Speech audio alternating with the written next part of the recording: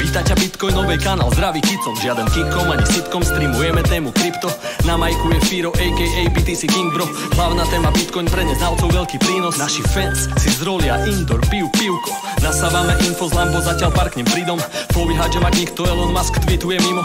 Verte dipy, ináč budú zožraté veľ rybou. Všetci plačú, keď je Bitcoin drahý, keď sú zľavy plačú tiež. Zapni radšej coin espresso a užívaj si krásny deň. Aj keď občas sa prší, prebrodíme sa. V krvi nepodliehaj panike, kryptotrh sa rád vlní. Ideme jazdu ako roller coast Mám tu poctu žiť túto dobu Repovať túto slohu Chceme len stekovať sa to kým nepôjdeme do hrobu V obehu len 21 megacoinov Nečakaj bonus Práve naopak. Zo pár mega je už navždy fuč No coinery plačú Vraj to celé kryje vzduch. Nevadí, že vo Fede a ECB si idú brr Medzi časom BTC si ide hore hrr Satoshi ako si zmenil chod. Sloboda na dosah, verím v to. Nech to bol hoci kto je hero. Zločinec pre debilov. Bacha typci v sakách Riešia ako nás nasrať. A zatiaľ anonymizácia vzrastá Mada paka. Otvor LN kanál Nakupujú kicom a vešope Knihy z šalka Kava sa nevypije sama Nie, neotálaj To čo minieš dokúpiš hneď späť. Pozdravujem Vexlakov a prevádzkarov témiek Nie je nás veľa, ale o to viac sme ceny. Early adopter za súčasť viery. Nasrad na ceny Sme tu pre iné veci. Osveta adopcia, neprepich. Cestou zbohatnutia Môže rovno odísť preč bitch Tak si trader, ok man, nebo gambler. Zniž tu parku, likvidácia zaklope na dvere. Burza na popadkoch, konto zožere jak Pac-Man. Pome DCA a na dôchodku štrngame si sekt, yes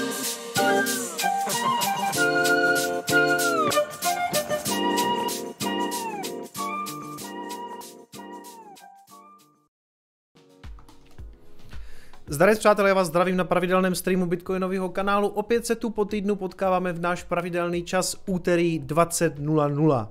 Čet růžovej, to nevím, jestli tam můžu nechat. A možná to tam zatím nechám. Zdarec přátelé, já vás všechny zdravím. Po včerejšku, ano, jestli mě sledujete na sociálních sítích všelijakých možných, tak víte, že jsem byl v show Jana Krause. Bylo to docela narychlo.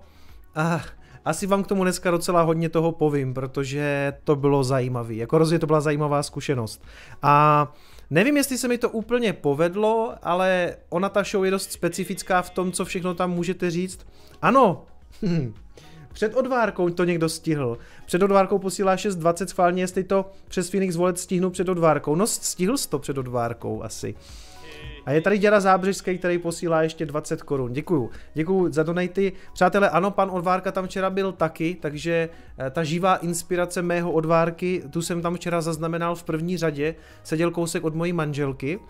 A na začátek vám rovnou, tady vidím, že někdo zdraví z Calgary, eh, Vitola Katoš.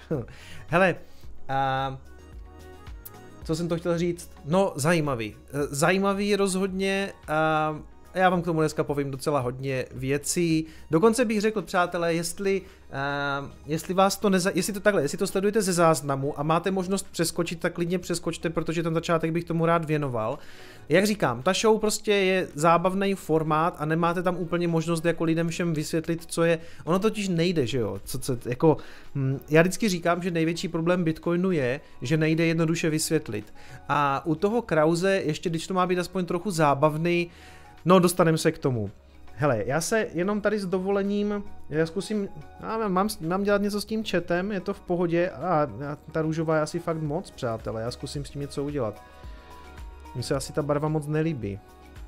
Zkusíme s tím něco províst. Micis poslal 50 korun, to je tak, no, červená, tak, taky podivná. Já bych tak, já mám radši tu oranžovou, když tam skáče.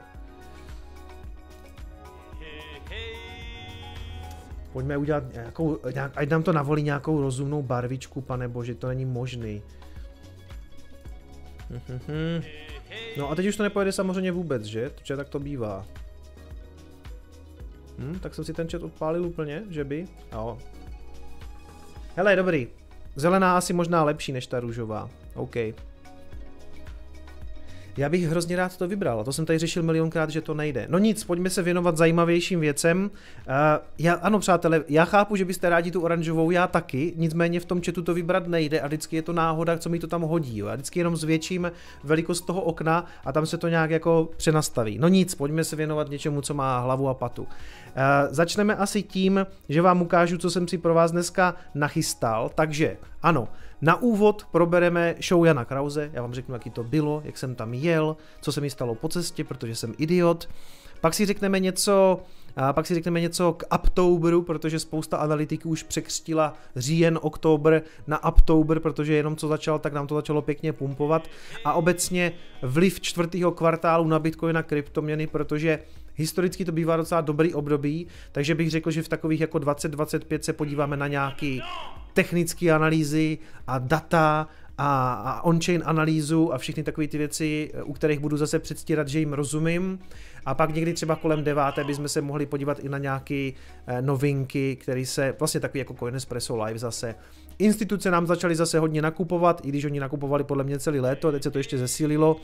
Bohužel stablecoin USDC je vyšetřován SEC, i když já bych řekl, že se není úplně moc čeho obávat.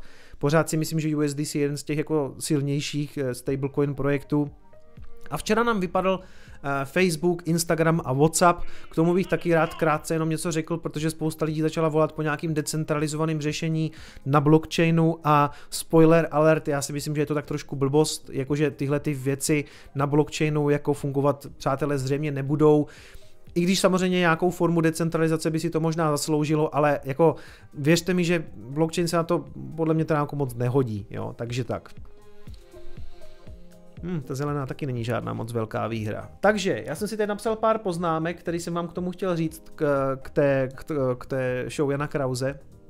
Jenom tady zase přečtu ty donaty. Micis poslal 50 korun, a teď se mi to ztratil. Jo, tady Tomašenko poslal 2 dolary, zdravíme s manželkou od televize, já vás taky zdravím. Radek Jarda poslal dolar 50, ahoj, díky za tvorbu. Henry poslal 244 korun, jen tak, jen tak, tak já děkuju, jen tak. Kolouch poslal 5 liber, Zdeněk Mládek poslal 129 korun, Zuza poslala 4,52, pozdrav ze Španělska, Zuzo, já tě zdravím do Španělska, Michal Gazo poslal 5 euro, a Tomáš Heřmánek poslal stovku. Ahoj Kubo, jako vždy díky za tvou osvětu určenou nejen pro věřící, ale i pro mudly. Dnes poprvé z vlastního nodu. Tímto i poděkování supportu Gordisi Borec. Díky. Ano, já moc děkuji všem svým moderátorům a jiným elitním členům, jako je Gordy, kteří pomáhají lidem se stavbou vlastního nodu. A Race posílá první platba Bitcoin, eh, Bitcoinem první Lightning, Satoshiho mince se jednou museli pohnout. Race poslal 2,51. Ano, takže přátelé, moc děkuji za donaty, zase se k tím za chviličku vrátím. První věc, jo. Tady malý důkaz, že jsem se skutečně v té eh, zmíněné show vyskytl, oni už na stránkách jsou nějaké fotky z toho, takže ano, skutečně jsem tam byl a show můžete sledovat zítra na Primě ve 21.35. Samozřejmě, samozřejmě, jsem tam byl jako ten třetí host, že jo, to jsou vždycky taky ti exoti, co buď prostě pěstují doma nějaký krokodýly, nebo chovají, nebo prostě žonglujou, nebo žerou nějaký meče, nebo něco takového, jo. Takže klasicky ten exotický host. I když, i když, přede mnou, přede mnou byla Anife Vyskočilová, což bylo taky jako zajímavý a přede mnou, e, ještě před námi potom byli e, sourozenci Slováčkovi, Anička a a Felix. Mimochodem, s oběma jsem se bavil v zákulisí, oba dva strašně milí, jako v pohodě. S Anifem jsem se moc nebavil, ta, ta se spíš potom chtěla bavit hlavně jako na pódiu, mi do toho pořád vstupovala, to asi zítra uvidíte, protože je to zábavná show, tak si myslím, že to z toho určitě jako, že to tam prostě bude. A musím teda jako říct, že Anička je hrozně milý člověk, jo, jenom tak jako takový setkání v zákulisí hrozně jako na pohodu tady s těma lidma, takže to bylo jako fajn. No a Anife je prostě jako střela, že? To byla totální raketa, takže prostě za prvé ona si vystačila úplně sama, jako pan Kraus v podstatě nemusel vůbec nic říkat a když jsem tam potom přišel já, tak jsem se jenom děsil, aby nám do toho nevstupoval, no což se samozřejmě stalo, takže ona začala tam něco jako, jako meldovat, takže už to bylo tak jako, jsem si říkal, tyjo, ticho, teďka, teďka, teďka mluvím já do prčic, jo.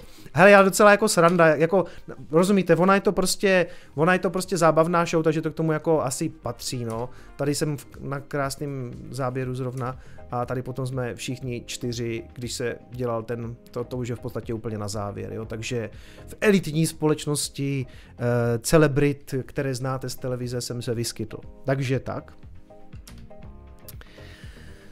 No, takže Nachystal jsem si tu krásnou košilku, kterou jste tam viděli, ještě vám to ukážu. Takže jsem si říkal, tentokrát nepůjdu ve flanelce nebo to, co jako standardně nosím, jo, tady ty kostkovany, vezmu si něco tak jako na slušňáka úplně do televize. Nachystal jsem si to a, a tady se někdo ptá, kolik měřím. Měřím 185 cm, takže jsem tam byl asi nejvyšší, přátelé. Jsem vyčníval. No, Říkám, tady se z Lord ptá, v kolik to jede, jede to ve 21.35 na primě, zítra já budu poslední, určitě, klasicky říkám exotický host, takže já nevím, určitě po desáté, což nevím, jestli je úplně nutný, tam jsem úplně zprostej nebyl, No nevím, jak se mi to povedlo, jo, ale od začátku, co se mi stalo. Takže já jsem si nabalil tady tu krásnou košilku, respektive řekl jsem manželce, jestli mi to ještě může nachystat, vyžehlit. Nachystal jsem si to doma na ramínko, jedem do Olomouce, měli jsme relativně dost času, ale zasekli jsme se na dálnici, takže už tolik času nebylo, takže jsme to stíhali jako tak tak. Já jsem ještě nikdy neparkoval v té podzemní garáži, co je pod RCOčkem, a tak jsem, do, tak jsem nevěděl úplně, jak to tam chodí, ale dobrý, zaparkoval jsem pod RCOčkem, jdeme tam dovnitř a zjistili jsme, že vlak má stejně spoždění. Dobrý, tak jsme si tam sedli a ještě, že si tam dáme takovou tu pizzu, co tam mají, protože, jsme, protože jsem nic moc nejedl. Dobrý, my tak sedíme a já říkám Lucce, manželce, kde je ta košile? A ona říká, a ty jsi ji nevzal? Já říkám, ne. A nějak jsem si nějak jako, já ne, nevím, jestli jsem si myslel, že to má vzít ona, prostě idiot. Já jsem věděl, že si chci vzít dvě věci. Dárek pro Krause Jakože jsem chtěl vzít ten polštářek svůj, co mám v e-shopu, aby to jako, ne, že bych tam chtěl jako super propagovat svůj e-shop, to mě bylo v celku jedno, ale vypadá, vypadá to dobře, rozumíte, když tam přicházíte a máte v ruce ten bitcoin oranžový. Jsem si říkal, všichni si mě prostě zapamatují kvůli tomu, že tam donesu ten polštářek s tím bitcoinem. Dobrý, ten jsem vzal, zase takový debil nejsem. A teď jsem zjistil, že nemám tu košili. Měl jsem nějakou takovou na sobě, takže ono by se to jako nějak dalo. Ale říkal jsem si, prostě jdeš do televize, jako nemusíš furt všude být jako v kostkované košili. Dobrý. Takže a chybělo do odjezdu toho vlaku asi jako 15 minut. A ono po té dálnici se jako to relativně možná stihnout dá. No prostě zavolal jsem domů tátovi, jestli mi jako, nebo respektive bráchovej pošle tatu tata tak zbalili košili a tata jel, že mi to tam ještě zaveze, že já úplně v nervu, že prostě, rozumíte, ono by o nic nešlo, ale když už to máte v hlavě nějak nastavený, jakože si vezmete tuhle košili, tyhle ty kalhoty, tyhle ty boty a pak to tak není, tak mě to úplně rozhodilo a já jsem to považoval za úplně jako nej, nejdůležitější věc na světě, že sebou ty vole nemám tu košili. No dobrý, tak prostě volám tatovi, tato říká, tak já jedu, rychle budu tam, jasně, jasně. Teď jel, zasekl se samozřejmě na dálnici na stejném místě jako my, protože, uh, protože tam byla zácpa prostě. No a mezi tím ten vlak už přijel, si tam ještě naskočilo dalších 5 minut, takže on měl celkově spoždění 20 minut, ale stejně jsme to nestihli, protože pak už přijel, šli jsme na ten peron, nasedli jsme, já, ří, já volám tačkovi, říkám, hele, tak je to v prdeli, prostě my jsme pryč, tak jako já nevím co. A pak nás napadlo, Lucka říká, hele, co kdyby to dal nějakému průvodčímu, jako co pojede další vlak, a pak nás napadlo, že to vlastně vůbec nemusí být žádný průvodčí, že to stačí strčit nějakým lidem, kteří to do té Prahy vezmou v nějakým dalším vlaku. Takže akce jak svině, abych já měl svou modrou košilku, rozumíte, tak jsem kvůli tomu zbuntoval prostě asi tisíc lidí. Takže Tata, protože on má v celku vyřídilku, tak někoho chytil na peroně s dalším vlakem, co jeli český dráhy. Já jsem měl v celku jako rezervu v té Praze ještě vrazil nějakým dvěma paním tu košili, řekl jim, že jedu do show Jana Krause, vzal si od nich telefonní číslo, zavolal mi a řekl mi to telefonní číslo. Já jsem těm paním z toho vlaku napsal, že to jsem jako já a jestli se můžeme potkat v Praze, až tam dorazí. A oni dorazili asi půl hodiny po nás, jo. Takže my jsme mezi tím šli na nádraží, koupili jsme čokoládu, paní přijeli, já jsem jim dal čokoládu a měl jsem svou košili. Ale ty vole, kvůli tomu byla fakt jako brutální akce, rozumíte, úplně logistika, no. Takže, takže Brutus, no. A je, ještě jednou opakuju, přátelé, budem chvilku řešit jako celý můj příběh ze show Jana Krause, protože to bylo jako můj celodenní zážitek, jo. A zhruba tak jako kolem té půl se dostaneme ke kryptoměnám, takže jestli se díváte ze záznamu, tak si rádi, jako klidně si přeskočte. Ale je to v celku, jako, řekl bych, že to v celku zajímavé, je to jako zážitek. No, přišel jsem do divadla, tohle je všechno dobrý, byl jsem tam brzo, měl jsem tam být, oni otvírali to divadlo v 19.30 pro diváky s tím, že asi jako v 8 se začíná, myslím a, uh, nebo tak nějak o tři čtvrtě, ani nevím, jo, ale každopádně já jsem tam byl už o 18.15. A teď tam za mnou přiletěla ta produkční a říká, my tady máme ten těžící stroj, pomůžete nám to rozjet? Říkám, cože? Ona, tak jsme, říkám, vy tady máte nějaký ASIC miner? Ona, ne, jako normální počítač eh, s grafikou a, a, a já říkám, a co?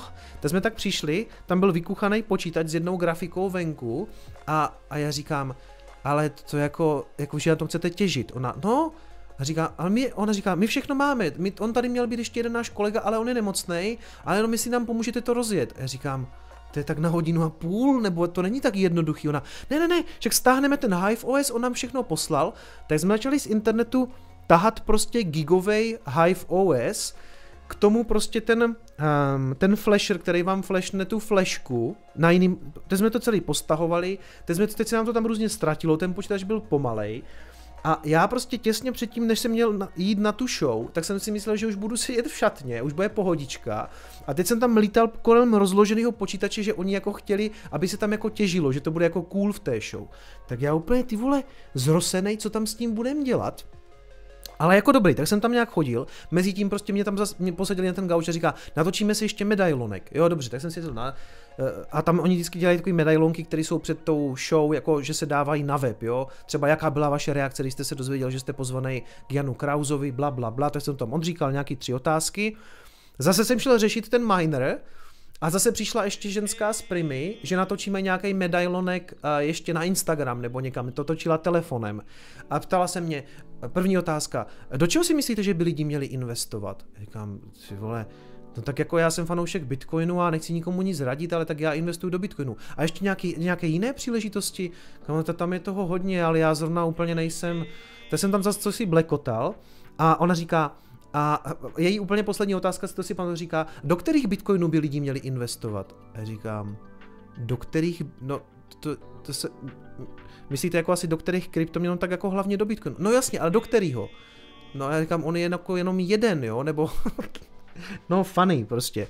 Do toho samozřejmě, do toho samozřejmě jsem zjistil, že jak je ta upoutávka na primě, tak zase říkají kikom, jo tak já nevím, jestli ti lidi, kteří tam jsou za to zaplacení, si nejsou schopni udělat aspoň tu základní rešerši.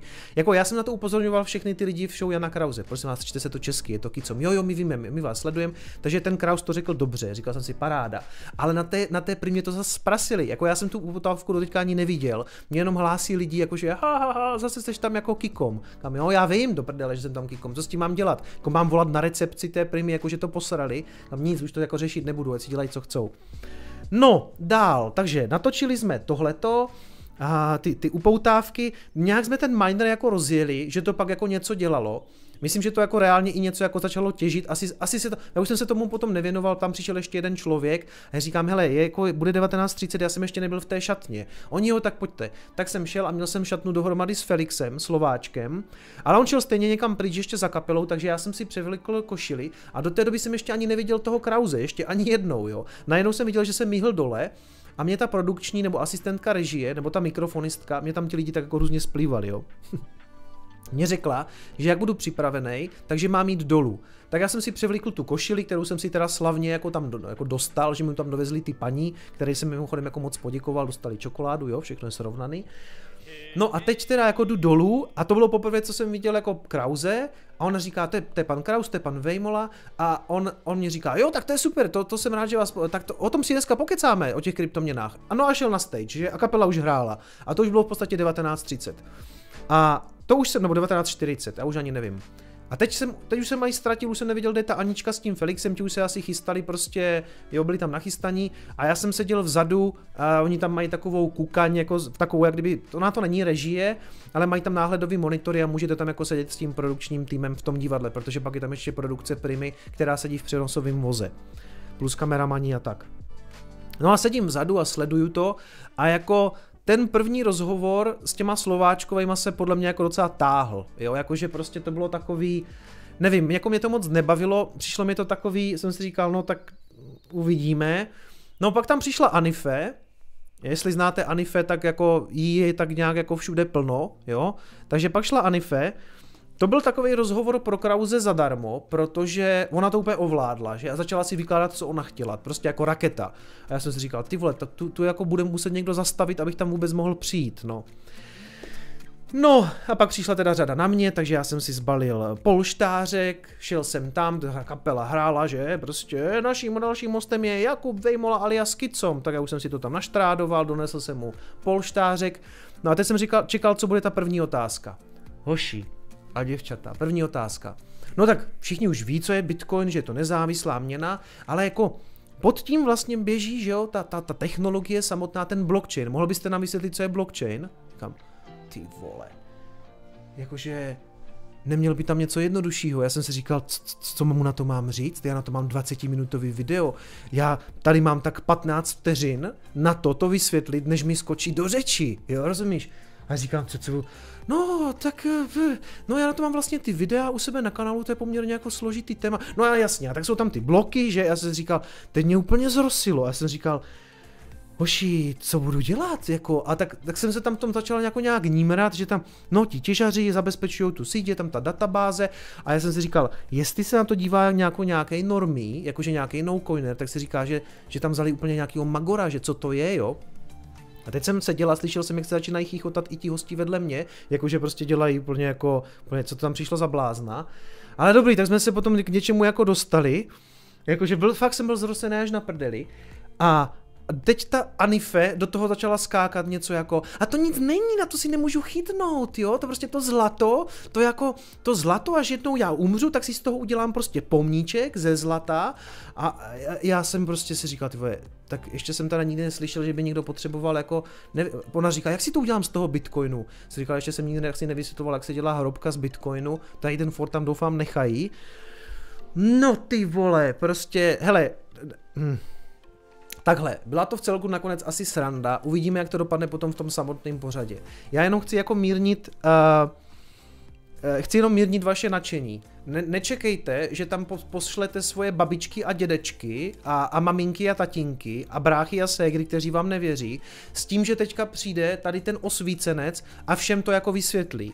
Ne, ne, ne, ne, jo, myslím si, že to je, že to bude trochu jako takový zmatený, hodně jsme tam jako různě skákali a teď jako je to koncipovaný jako zábavná show, jo, takže jsem tam, jsem se snažil možná udělat i nějaký forek, aby to jakože bylo vtipný, teď ten Kraus taky dělá forky, do toho ta Anife, ale jako, že by se tam někdo vyloženě dozvěděl něco super o Bitcoinu, nečekejte zázraky, jo. Já ještě já ještě nevím, jak to přesně dopadne, ve smyslu, kolik z toho vystříhají, kolik toho prostoru v té show Jana Krause bude mít Anife, kolik budou mít Slováčkovi a kolik já jako ten klasický exot, jo. Takže uvidíme, kolik nechají exota a já už vlastně ani pořádně nevím, co jsem říkal, jo, protože to, jako, kdo jste měli svatbu, tak víte, že když stojíte u toho oltáře, si potom ve výsledku moc nepamatujete, že jste nervózní a to. A teď, já takový svatby poslední dobou prožívám furt, protože jsem trémista, mám ze všeho prostě nervy a jako, jako Nebyl jsem zase až takovým jako, že bych byl tak jako svázaný, třeba jak jsem byl u oltáře, prostě jako v nervu, ale jako já nervózní jsem, jo, a zvlášť, že tady jdete do show, kde prostě víte, že to bude v telce, tam byla prostě maskérka, dělala mi prostě, že jo, dělala mi ten, jak se to řekne, make-up, jako no make-up úplně ne, jenom, jenom mě zapudrovala, což je dobře, protože já se všude lesknu, já se lesknu dneska i tady asi. No, a, a když víte, že budete prostě potom v telce, že se na to zřejmě budou dívat všichni vaši známí, protože to dáte na, na Facebook, že jo, tak dal jsem to na Facebook, je to takový jako Prima Flex, jako Prima Flex by bylo dobrý název další stanice primácké, něco s, něco s grznárem. Hele, takže jako já jsem rád, moc si toho vážím, že mě pozval, protože prostě ta, ta show má pořád nějaký renomé. Řekl bych, že už třeba ne takový jako před pár lety, jo, přece jenom jako, já nevím, jak dlouho se to natáčí, jo, to už se natáčí podle mě přes 10 let, že? A už to prostě není takovej asi hit, jako býval, ale pořád si myslím, jako, že je to takový dobrý jako zářez do pažby, jako že jsem byl u Krause, ale nemyslím si, že by mi to jak, jako nějak stouplo do hlavy, jo, jako it is what it is, je to prostě late night show, Doufám, že z vás prostě nesklamu, ale nečekejte, že teďka naženete všechny k televizi, že Kicomek vám to vysvětlí u Krause. Ne, ne, ne. Jo, prostě možná zbudím nějaký povědomí, možná se lidi zasmějou, možná si řeknou, co to je za plešatýho dementa, všechno je možný, jo. Já se nebráním ničemu, já se stejně teďka v té krypto komunitě vlastně považuji za takového třídního šaška, takže mě teďka budou jak medvěda vodit po různých show.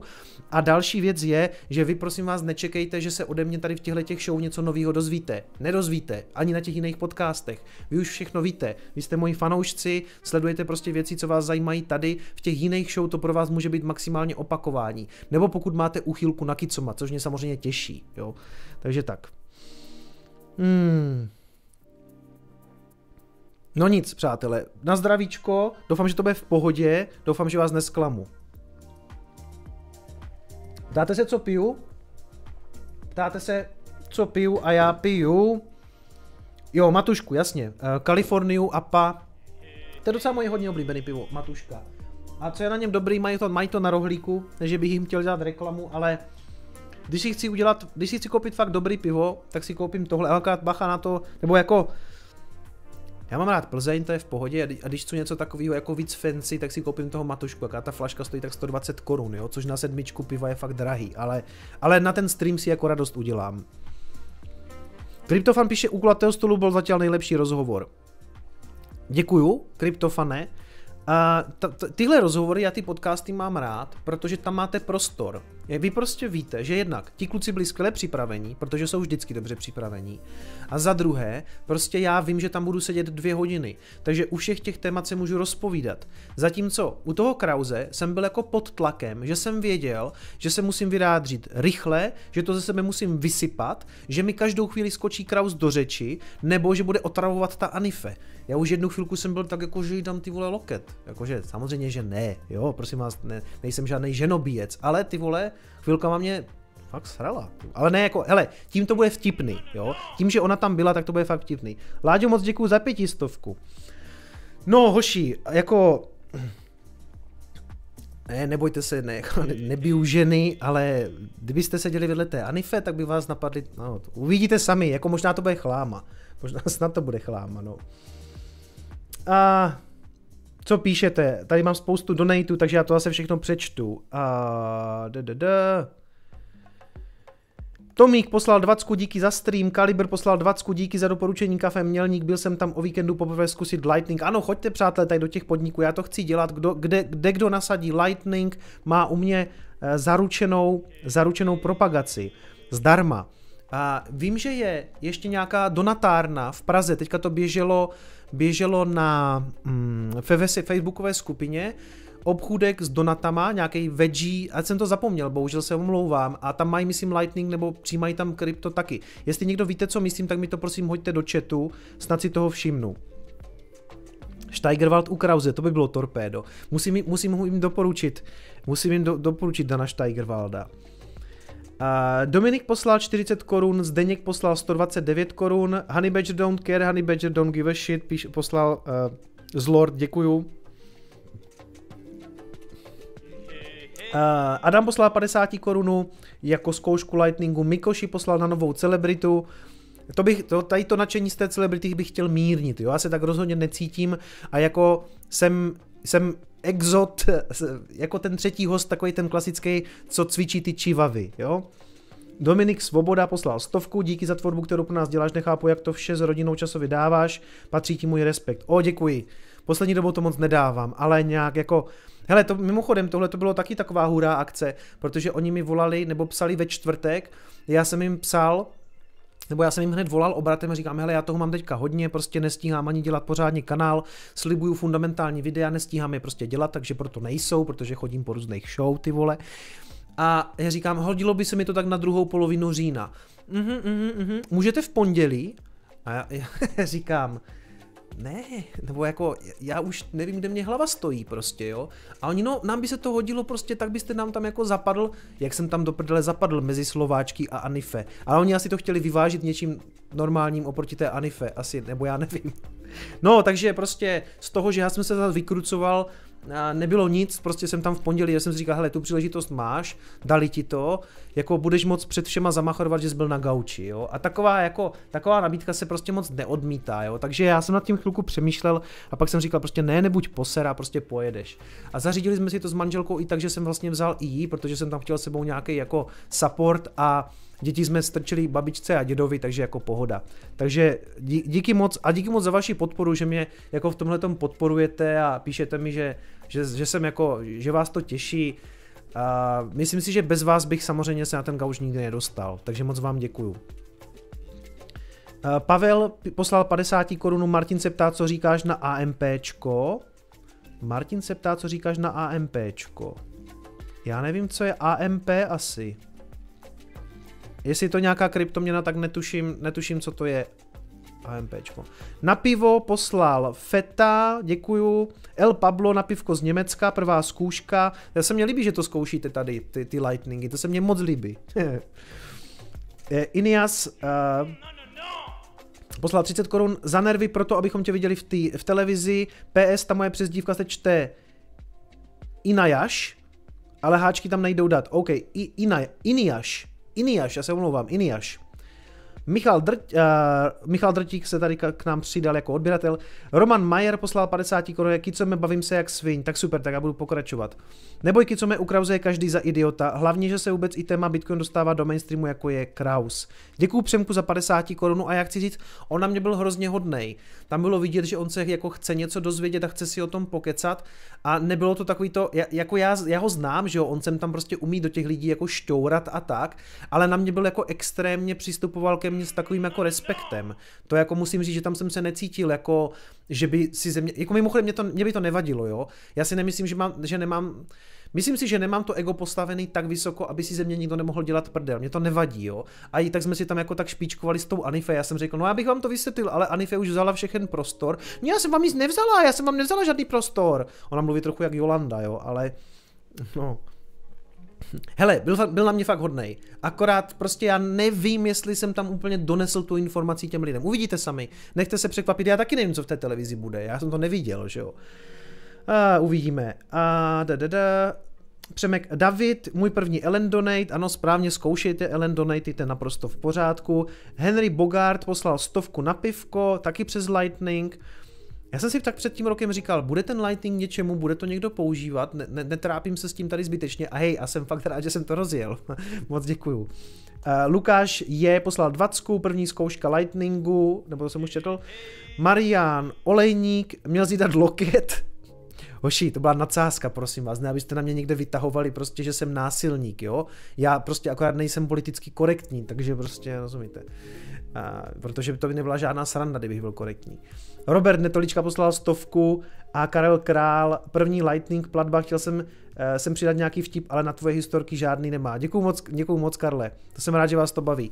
Po, dola, uh, Karel poslal dva dolárky. A ještě Venca z Nosislavy poslal 20 korun. Díky moc.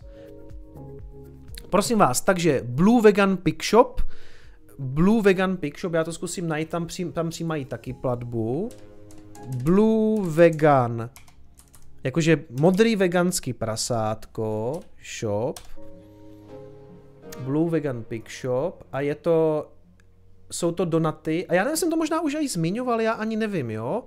Každopádně já jsem třeba jako hodně koblihovej, donatovej, mám to rád, takže až budu v Praze, tak se tam zastavím taky.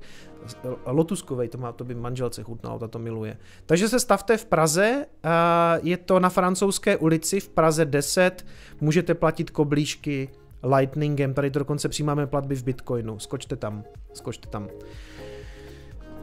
Uh, tak přemýšlím, jestli je to všechno, co jsem vám chtěl říct k show, abych, no možná jsem to už teďka trochu vyspoiloval, ale i tak se asi budete bavit, možná teďka víte, co máte čekat. Nečekejte zázraky hlavně, hlavně nečekejte zázraky.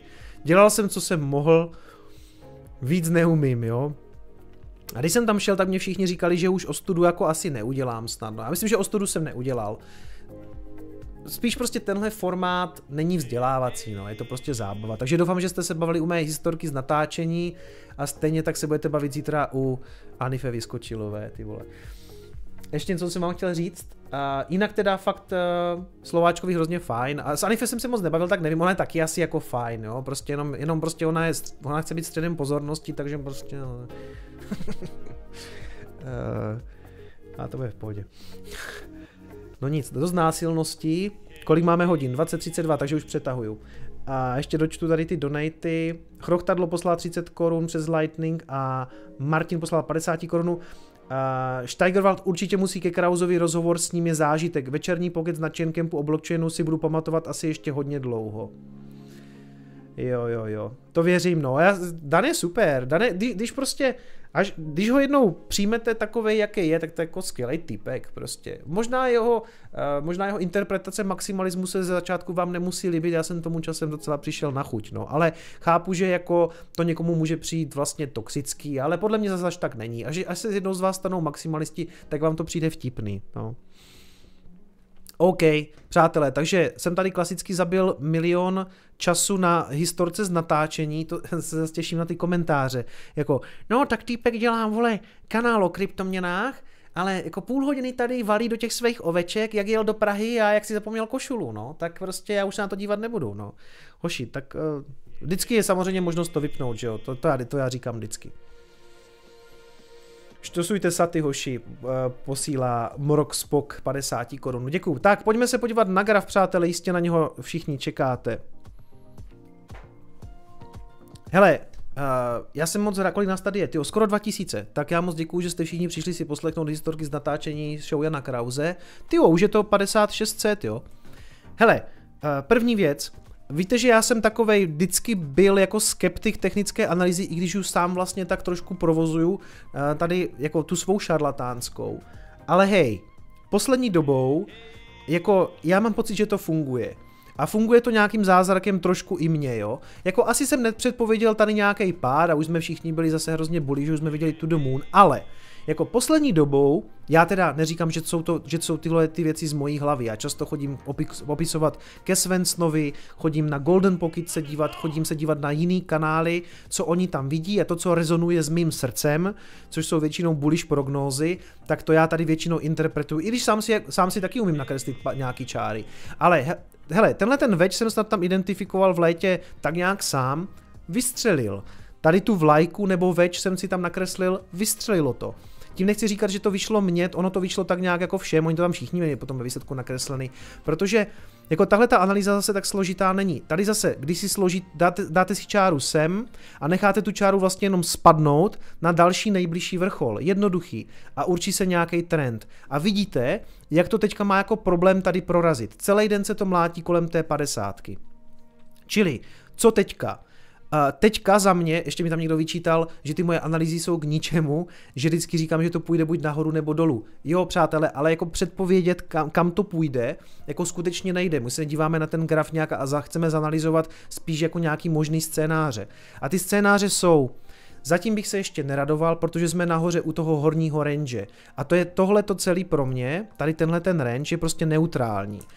Dokud se nepodíváme nahoru jako nějak rozhodně nebo rozhodně dolů, tak nemá smysl se tady jako o tom nějak bavit. Teď to vypadá docela pozitivně, to neříkám, bylo by to skvělý, ale podívejte se tady, když jsme byli eh, v létě kolem té třicítky, tak taky jeden pokus jít nahoru sletělo dolů, druhý sletělo dolů a pak jsme byli úplně nahoře, už jsme byli tady a stejně to zase jako vykrvácelo. Takže tady skvělý, vidíte, jak to bojuje jednak s tou padesátkou a jednak s, tou, jednak s tím trendem, jo. Pokud to tady proletí a dostaneme se rychle někam na nějakých 51, 52, ideálně třeba s nějakým takovýmhle retestem té 50, tak super, už se budeme nacházet tady v tom bullish range a ten, ten, to all time high je skutečně na dosah, tam už nic moc není. Jako samozřejmě, že tady to zase bude potom jako bojovat logicky s tou šedesátkou jako, jakožto s, eh, zase s psychologickou a potom samozřejmě i s tou 64 nebo 65 jako s tím minulým all time high a to budeme řešit, až to bude na stole.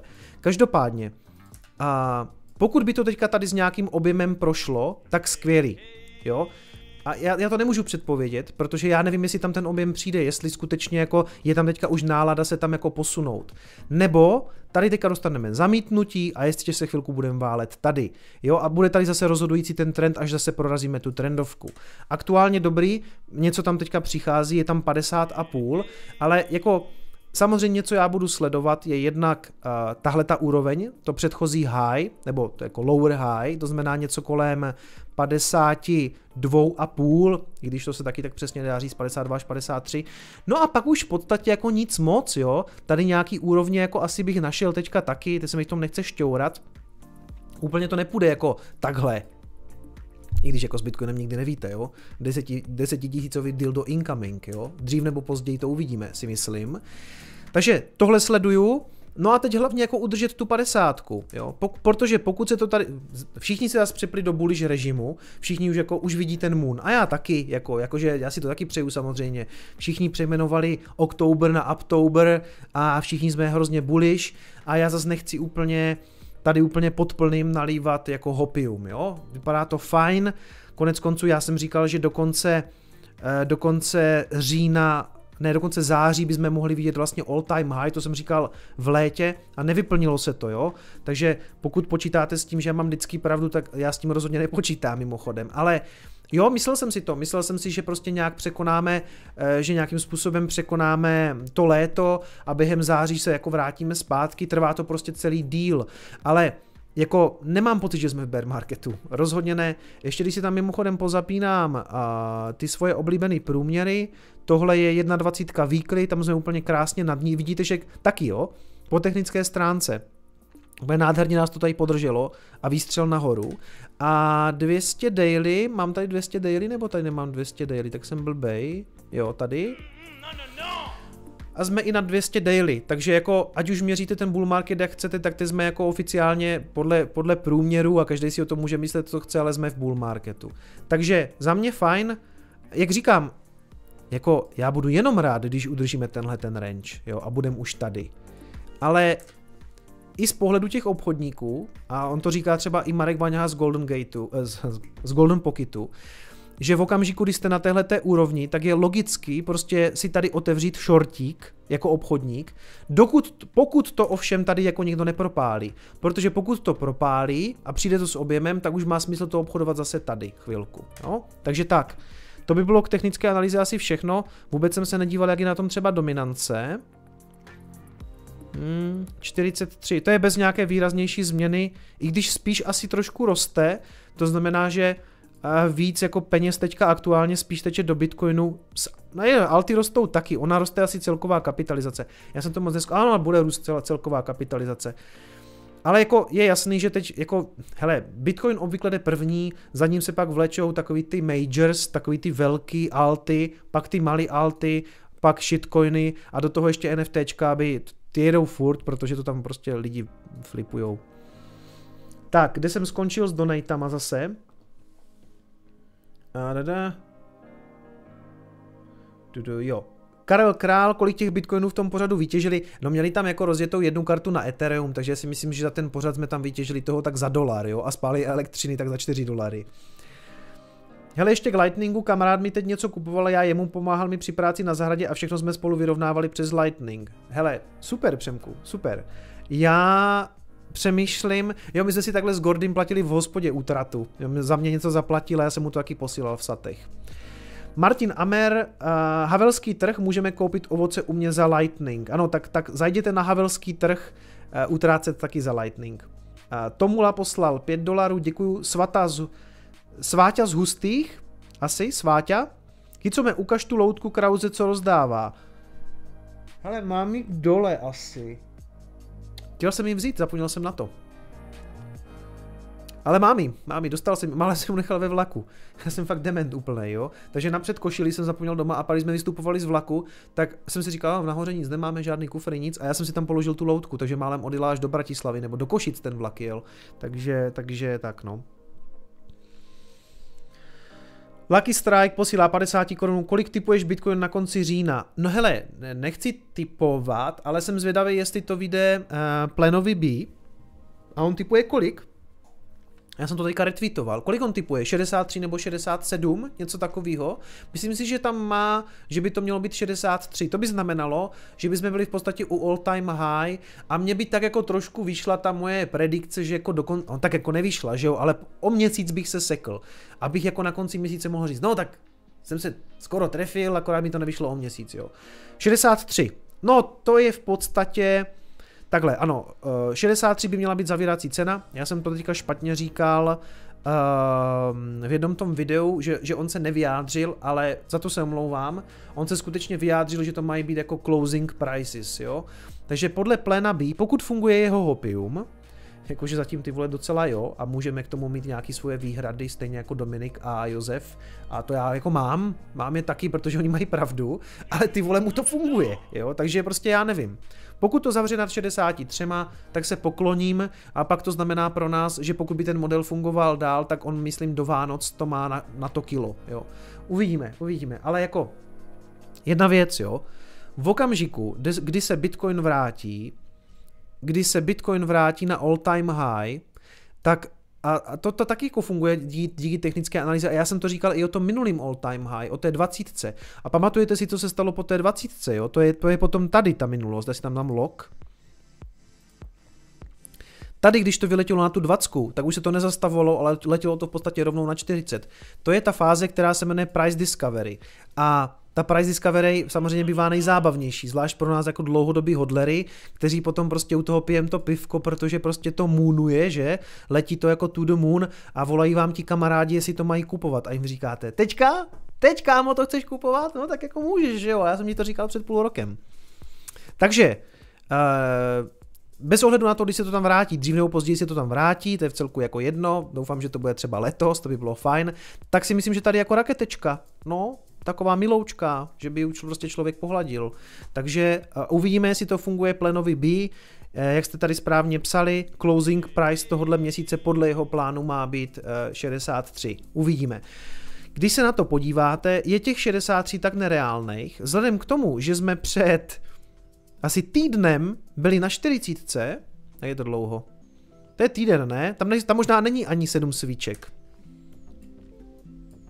To je jedna, druhá, třetí, čtvrtá, to je pět svíček. Pět dní to, přátelé, trvalo, možná dobře, možná šest, OK, možná týden. Týden nám to trvalo, než jsme se ze 40 dostali na 50. Jo? Takže ano, nemáme tu ještě denní dilda, desetitisícový, jsou týdenní, ale pokud přijde ještě jedno týdenní, tak jsme na 60, že jo? Takže mně to takto nereálně nepřijde. A má tam nějaká korekce, přijde samozřejmě, jo? Jako, mm, pozor, jako, hele, zaznali vám moc hopia, jo? Tady, tady fakt jako prostě může přijít ta korekce a ještě chvilku budem tady. My se můžeme zítra probudit a bude tam zase 47 a my si řekneme, ty vole, tak co to zase hypuje a ty vole zase jsme na 45. Jako mně by se líbilo, pokud se to ještě skoriguje, aby jsme třeba zůstali aspoň v půlce toho range, jo, to znamená zůstat někde kolem 45. Už ne moc k té 40. No to zase bude smrdět, zase přijdou ti medvědi, zase budou prudit, že jsme, že, jsme, že jsme moonboyové, jo. Takže já chci samozřejmě já bych si nepře- já si nepřeju nic jiného, než že se zítra probudíme a bude to už třeba na 53, na 54, něco. A jak to se, jako, to už, to už si to přeju moc. Nějaká korekce, retest tady té čáry, plus té 50 a to the moon, respektive někam na 60, 64, tady to udělá tak spirálečku a pff, jo, takže tak. to je analýza ty vole od, jako do pice. No, takže, takže tak, já jsem zase vtipnej. Jak u, no, kdybych tak byl vtipný u Krause, tak by to bylo dobrý. A, takže Lucky Strike, doufám, že jsem odpověděl dostatečně na tvou otázku. Um, Kuba, první platba přes Lightning Ever, díky za tvůj kanál, dnes nalezené euro posílám dál do světa. Jej, děkuju. Gordy poslal 50 korun, Ferdinand Vaněk z Nového Hrádku by dnes oslavil 85. narozeniny. Zdravím nahoru. Tak já taky zdravím Ferdinanda, Ferdinanda Vaňka. MK poslal 249 korun, omlouvám se za pozdní příchod. A vše je odpuštěno, všechno je v pořádku. Tak, tak to má vypadat, přátelé, když poz, pošlete, přijdete pozdě na stream, pošlete 250 korun, všechno je v klidu. Pavel je, to je to nic, Jaroslav Pišný poslal 20 korunu, díky co mě hodl na věky, Mark Holz poslal 50 korun, ahoj co mě napadlo by tě vůbec u natáčení tvého prvního videa, že to dotáhneš až do zmíněné show Jana Krause. Hele, uh, u prvního videa ne, ale budu opět jako neskromnej.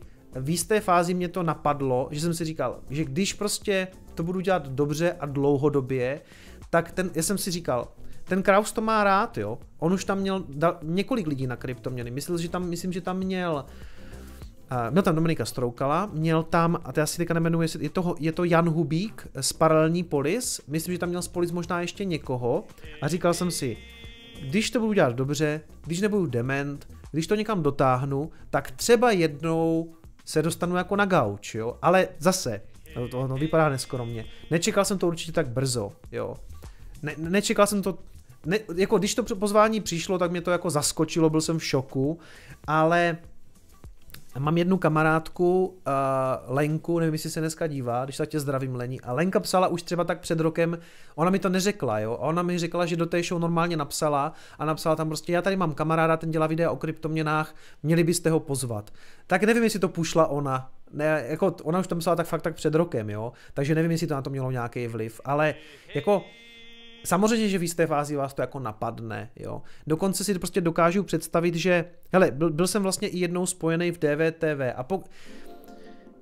Je to tím, že ten Bitcoin je takový fenomén. To není ani tak mnou. to je tím, že prostě ta věc je naprosto fenomenální a jako bude růst, bude zajímavější pro lidi, zase, zase na ní vznikne bublina a ty média to zajímá, jo, takže i dneska tady předesílám, že je dost možný, že jednou budu prostě sedět v DVTV jako live, že jednou mi tam spojovali přes telku, v rámci nějakého toho živého vysílání, už si tam u mě udělali čárku, že to je ten týpek, co dělá kanál o kryptoměnách.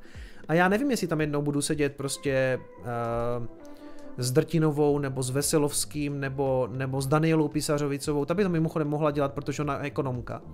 A teď mimochodem a teď jedu na tu panelovku, na tu panelovou diskuzi na Colors of Ostrava, a Colors of Ostrava, na Colors of Finance, ono je to v Ostravě, tak ono se to jmenuje jako podobně. A tam to mimochodem ta Daniela měla uvádět, Daniela Písařovicová. A dneska mi přišel e-mail, že to nakonec uvádět nebude, tu panelovku, že mezi tím dělá nějaký rozhovor právě pro DVTV a že to bude, že to bude moderovat Martin Kuchař z Chain Campu, zakladatel. Což možná budu i klidnější, protože my se s Martinem známe, takže jako rozumíte, z té Daniely bych měl taky takový respekt, že jako je známá, vysoká, pracuje v DVTV, tak už to jako, s Martinem se znám, tak když mě Martin dá nějakou blbou otázku, tak mu řeknu, že se mi to nelíbí, ale to on samozřejmě neudělá, jo. Takže mimochodem, pokud chcete zajít na, na diskuzi eh, na Colors of Finance, tak budu, je to 13. ve středu v Ostravě, tahle ta panelovka je myslím od 11 hodin, nebo něco takového, nebo od 11.30, takže tak, no. Veselovský by co má rozobral, píše, no to by bylo tvrdý, samozřejmě, jo, to prostě to by bylo, jako tam si jako, tam by se se mnou nikdo nemazal, tam by byly ty nejtvrdší otázky, jako, když se za to kupuje dětský porno, když je to neekologický a já bych mu to vysvětloval a on by mě furt na tom jako drtil, jak ta drtinová a jako ve výsledku by bylo v celku jedno, jestli by to dělala drtinová, když ta jsem tam zve takový ezoblázny, jo, to se mi moc jako mimochodem na ní nelíbí, ale, ale hej, prostě to je její věc asi, nebo, nebo nevím. Já bych řekl, že já teďka nevím přesně, jak tam působí ta Daniela Písařovicová, ale vzhledem k tomu, že ona je ekonomka, že ona má vystudovaný VŠE a je fakt chytrá, tak si myslím, že klidně by to jako dali jí, jo. Nevím, nevím, ale jako uh, já vím, že to bude znít zase hrozně neskromně, ale jako je dost možný, že tam jednou zase budu sedět, že mě pozvou na to téma těch kryptoměn. A ani ne tak kvůli mě, ale oni tam pořád točí stejný lidi a sem tam chcou taky prostě nějaký nový ksicht, který, a víš, víte co, a ono je to jako, jako atraktivní, vy jste, udělal, vy jste udělal kanál, ten kanál už má 70 tisíc odběratelů, teď ten Bitcoin pumpuje, prostě rozumíte, jo? A je to tím, že, je to tím, že Bitcoinový kanál uh, Prostě Bitcoin je ten fenomén, ne Bitcoinový kanál. Já jsem vlastně takový marketingový oddělení, jo, a, a dělám to rád, jako to je moje práce, jo, takže jako vy, vy nemůžete zavolat nikomu do Bitcoinu a zeptat se, ať vám pošlou nějaký PR typka. My to děláme všichni, jo, dělá to Pepa, dělám to já, dělá to Dominik a oni jako když, samozřejmě, když jsou ekonoma, tak já nejsem dobrá volba, jo, to určitě ne. Teď ještě jsem tam samozřejmě, samozřejmě Lukáše Kovandu, jo. Mimochodem, musím vám doporučit podcast Lukáše Kovandy a a Pepi Tětka na stekuj.cz, nebo respektive víte, že jsem byl u Pepi Tětka na, na YouTubeku. Teď, pokud vás zajímá trošku i to makroekonomické dění a to, jak vlastně e, si tak všichni hrajou s tím dluhem a penězma, tak podle mě se nemohli sejít jako dva rakouští ekonomové, než Pepa a Lukáš e, Kovanda, takže doporučuji poslechnout. No. Jo, a to jsem chtěl říct, jako uh, já nemám tak hluboký znalosti ekonomie a nemám tak hluboký znalosti vlastně ani technický, co se týče toho Bitcoinu. Takže moje jediná šance je, že jsem fakt jako takovej trošku takový jako ten třídní maskot toho, toho, toho Bitcoinu. Tak je ten šašek, jo. A, a na tom to tak trošku, proto jsem říkal, že prostě i ty svoje přednášky stavím trošku už jako takový jako stand-upy, protože to, co prostě nezvládnu eh, ekonomicky a, a technologicky, tak doženu prostě nějak, nějakou historkou ze zapomenutou košilí, rozumíte? No. Mrkněte, na ten, na ten podcast, zvlášť pokud vás jako trošku zajímá ekonomie, ekonomika, tak je to super, na zdravíčko.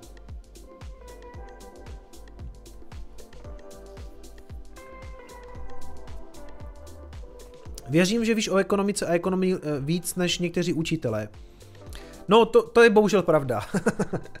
Není to mnoho, ale prostě kolikrát to stačí na to, abych jako... Jsem tam, když slyším nějak... No, Hoši, já si o sobě nemyslím nic moc extra, ale jsem tam, když slyšíte třeba mluvit jako maláčovou, jako, že, se, že se jako všechno zaplatí, že to není, že ta otázka na to, kde na to vezmeme, je taková plítká a, a jednoduchá, ty si říkáte, OK, a to je relevantní dotaz, ty vole, kde, kde na to jako vezmeš na ty důchody, rozumíš? No, prostě, no nic. Pojďme zpátky na donaty, kde jsem to zase skončil. Uh, jo, takže jestli mě to napadlo u prvního videa, ne, nenapadlo mě to u prvního videa, ale víte co totiž, on to někdo napsal, třeba už pod pátý video, něco jako, hele, třeba, třeba jednou, něco tak jako třeba jednou bude sedět u Krause. A hle, skvrna zmizela, už tam, už tam jsem. Uh, Cyrus testuje, moc děkuju, 10 eurama, JT poslal 5 dolarů, Roman Mayer 22 korun, první test Lightningu, Milan Z za spirálu na grafu 20 korunu, Mirek 2 dolary posílá AMP pro rozšíření obzoru, díky za tvou práci. Jo, to je, jo, to je takový ten Amp Morph, Ample, Ample, Oši, rozumím. No já neposlouchám hip-hop, no prostě. Uh, Pavel Lofej, to byla narážka, to bylo, to bylo forek ze South Parku, znáte to. Slyšel jste někdy o, li, o, o listině základních lidských práv? Ne, neposlouchám hip-hop. to byla taková ta, jak říkali, jak udělají ty linii, kryjte se za, a to, tady to slovo už nemůžu říct, protože by, by to bylo demonetizovaný zřejmě, jo, takže. Slyšel jste někdy o základní listině, eh, základní lidských práv? Neposlouchám hip-hop. Tímto pozdravujeme The Art Guy Andrej Gábora, bývalého instagramového fotografa, kterému zmazali profil Shiba to the Moon. Ale to tam psali dneska i před začátkem všichni, že Shiba zase letí nahoru, ale já skutečně jako nesleduju každý shitcoin. Jestli, jestli vám Shiba něco vydělala, dobře pro vás, nezapomeňte brát profity, prosím vás, jo? Zvlášť tady z těch sraček, jako je Shiba Inu, jo, prostě. Na novou košli do DVTV, děkuji za 5 dolarů od Spirita. A, a Mindro posílá dolar 62, slavíme Ferdinanda Vaňka a první ocenění Bitcoinu 5. října 2009. OK. První, první ocenění Bitcoinu 5. října bylo, to byla první nějaká známá cena. OK. Kolik to tenkrát bylo? To bylo nějakých těch 6 tisíc dolarů, že? Něco jako 0,6 centů.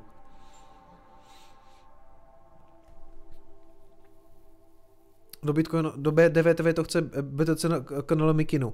Jo, a to je taková sportovní Mikina, to se tam úplně nehodí. Já si pořídím zase nějaký košile borci. No. Zpráva smazána, OK. Dominiku, zdravím do Vancouveru a jsem moc rád, že se díváte i v Kanadě. Jo, Ferdinand Vaněk je Havel, já jsem dement, jasně, já se omlouvám. Já jsem blbý. On se taky podepsal jednou v těch novinách, že? To bylo to jeho jako krycí jméno, ale dali tam i tu jeho fotku. Já už vím, co píšete, kluci. Já jsem hloupej, promiňte. Ano, ano. Tak já připím na pana prezidenta. Já se moc omlouvám. Ježíš Maria, to mi zase někdo omlátí o hlavu. Ale rozklíčoval jsem, ne, nerozklíčoval jsem to, vy jste mi to napsali. Ale vím, vím, vím o co jde. Nejsou úplně blbej. Nejsou úplně blbej. Někdy jo.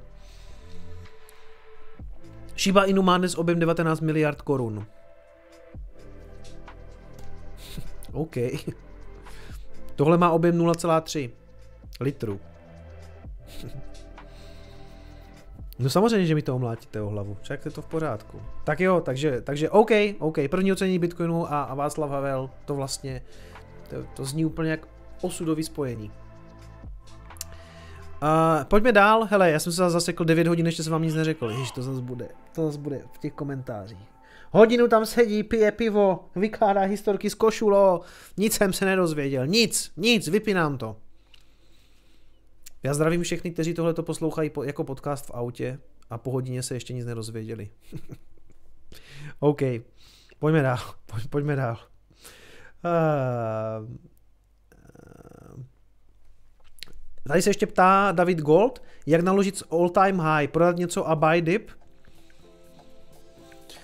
Já takhle nefunguju, nebo jako, jako z nějakého pohledu traderského to asi dává smysl, jako něco, protože ono se to často u toho all time high jako mlátí, ale jako u té dvacítky se to spíš tak zaškobrtlo a už to letělo, jo. Takže chceš to riskovat, jako já moc ne, jo.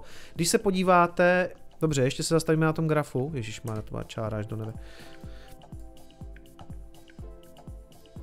Tady jo, tady. Když se podíváte u toho all time high, tak uh, to letělo, lízlo to nějakých třeba 19200, spadlo, dobře, pak to tady narazilo, chvilku nějaká konsolidace, dip dolů, někam na 18 nebo 17800 a už to letí. Jako je tohleto dip, který chceš riskovat, aby ti tohleto potom uletělo? Já, víte, jak funguju já? Já mám nastavený hranice a tam prostě něco odprodávám, protože ano, myslím si, že v jisté fázi se to přefoukne do bubliny a my nevíme do jaké, takže ano, i já takovej velký hodler prostě něco prodávám s tím, že půlku ne, 60% vlastně jako neprodám.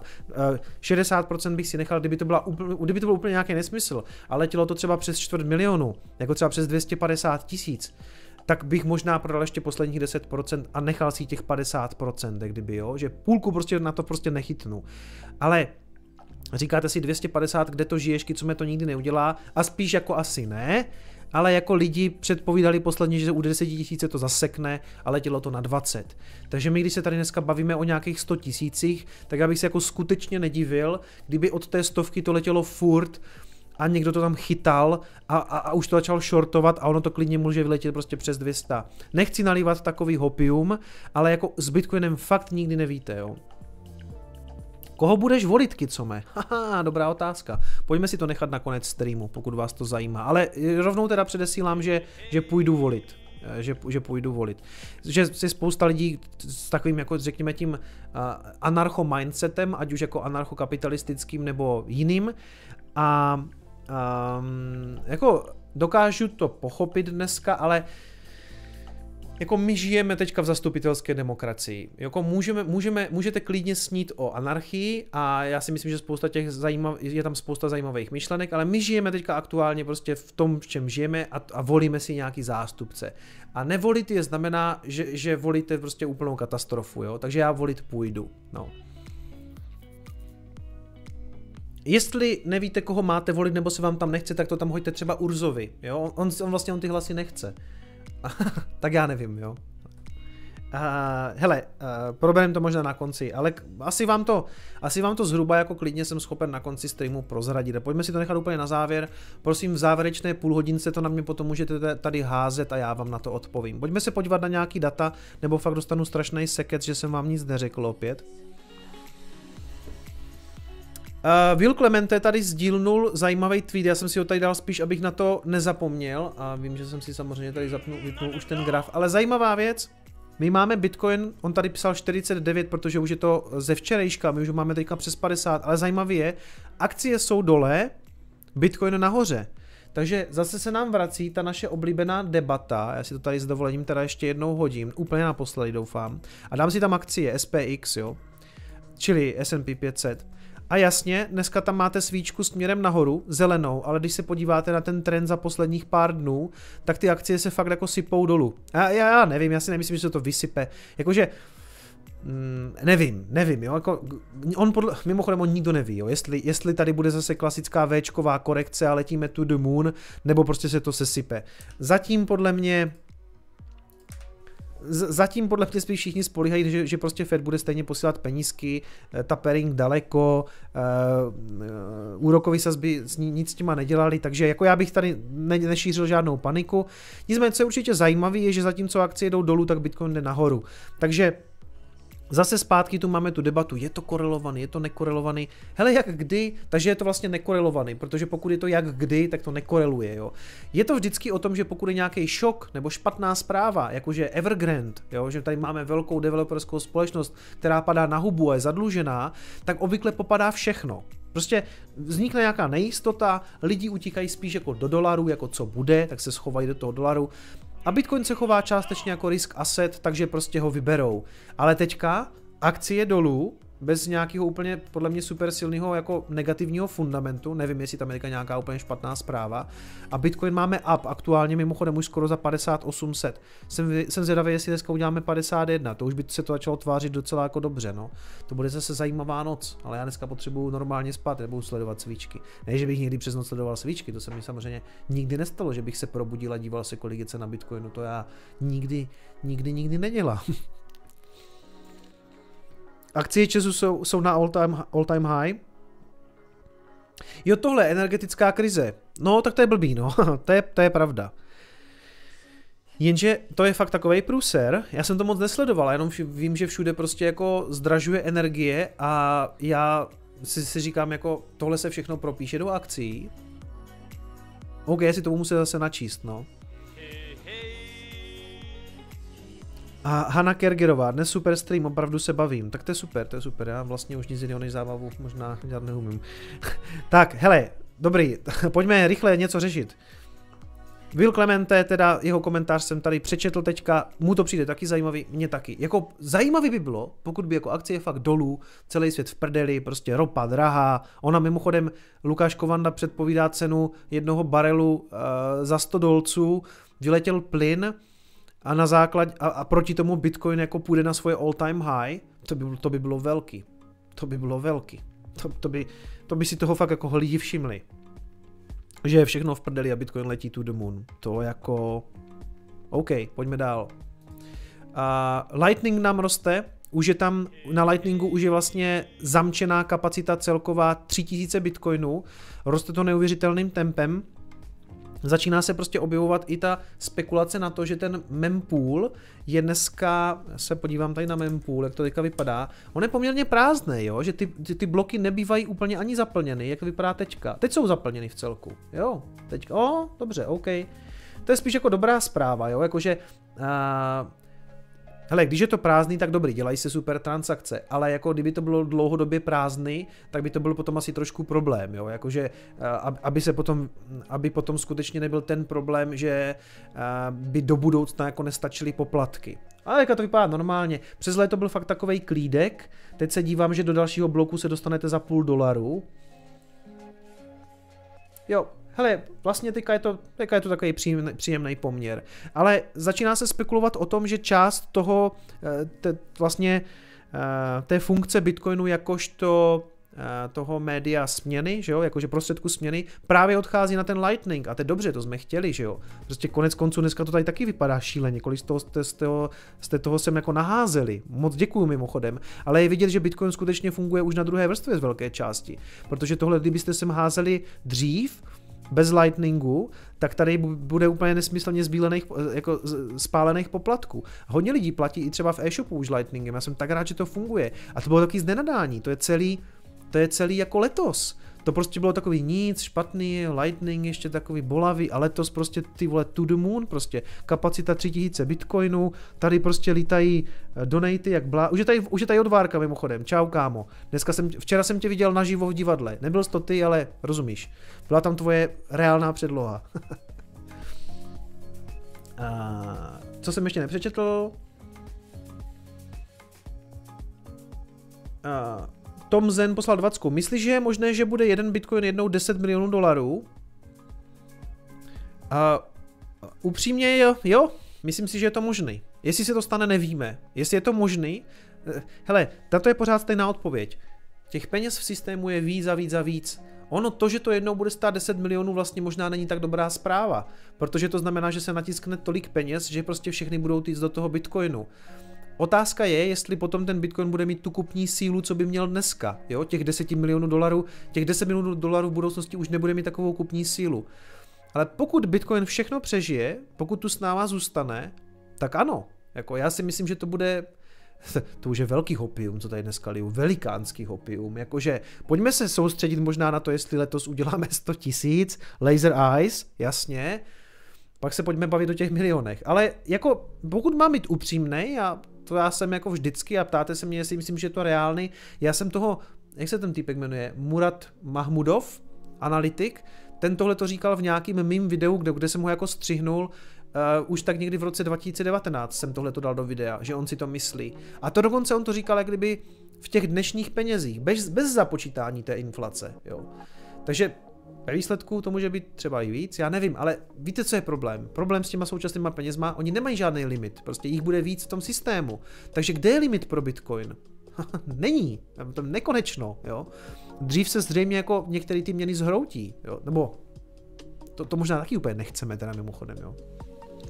I když to, co teďka říkal Lukáš Kovanda v tom videu, tak on říkal, že v té fázi se prostě bude hledat alternativa. A dost možná ta alternativa bude Bitcoin, takže vlastně proto je ten náš dlouhodobý záměr vlastně mít co nejvíc Satoshi. Protože, protože to je ten nejznámější mem, kde je ten Neo s tím, s tím eh, Morfeem. Chceš mi, chceš mi říct, že jednou prostě to budu obchodovat v milionech a on mu na to říká, ne, chci ti říct Neo, že jednou nebudeš muset to jako tradovat zpátky. Rozumíte, že budeme platit přímo tím. A když to budete mít hodně, no tak to bude docela fajn, že jo.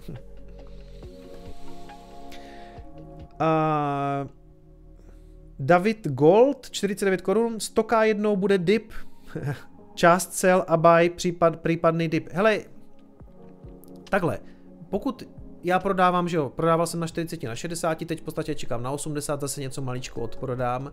Pokud se mi třeba povede naakumulovat hodně peněz a budu prostě to z toho vytáhnu a pak to dipne níž, pak to se z toho se zřítí, tak ano, do jisté míry já jsem připravený na toto kupovat zpátky. Ale rozumíte, jak kdyby nesedím špatně, že? Promiňte. Já nechci na to, tak si to přepnu sem, já na to nechci spekulovat. Prostě to, co prodám, s cestou nahoru jsem prodal a jako jsem schopen si ty peníze teďka nechat a radši, radši investovat prostě třeba do chalupy, rozumíte? Pokud se mi povede si je jako zachovat a skutečně během následujících měsíců potom Bitcoin dipne jako někam nízko, třeba na tyhle ty úrovni, kde je dneska, tak vlastně můžu nakoupit jako uh, zpátky, levněji. Ale není to ten můj spekul. Prostě pokud se mi to nepovede, tak se mi to nepovede. A to jsem tady vysvětloval moc krát. Pojďme dál.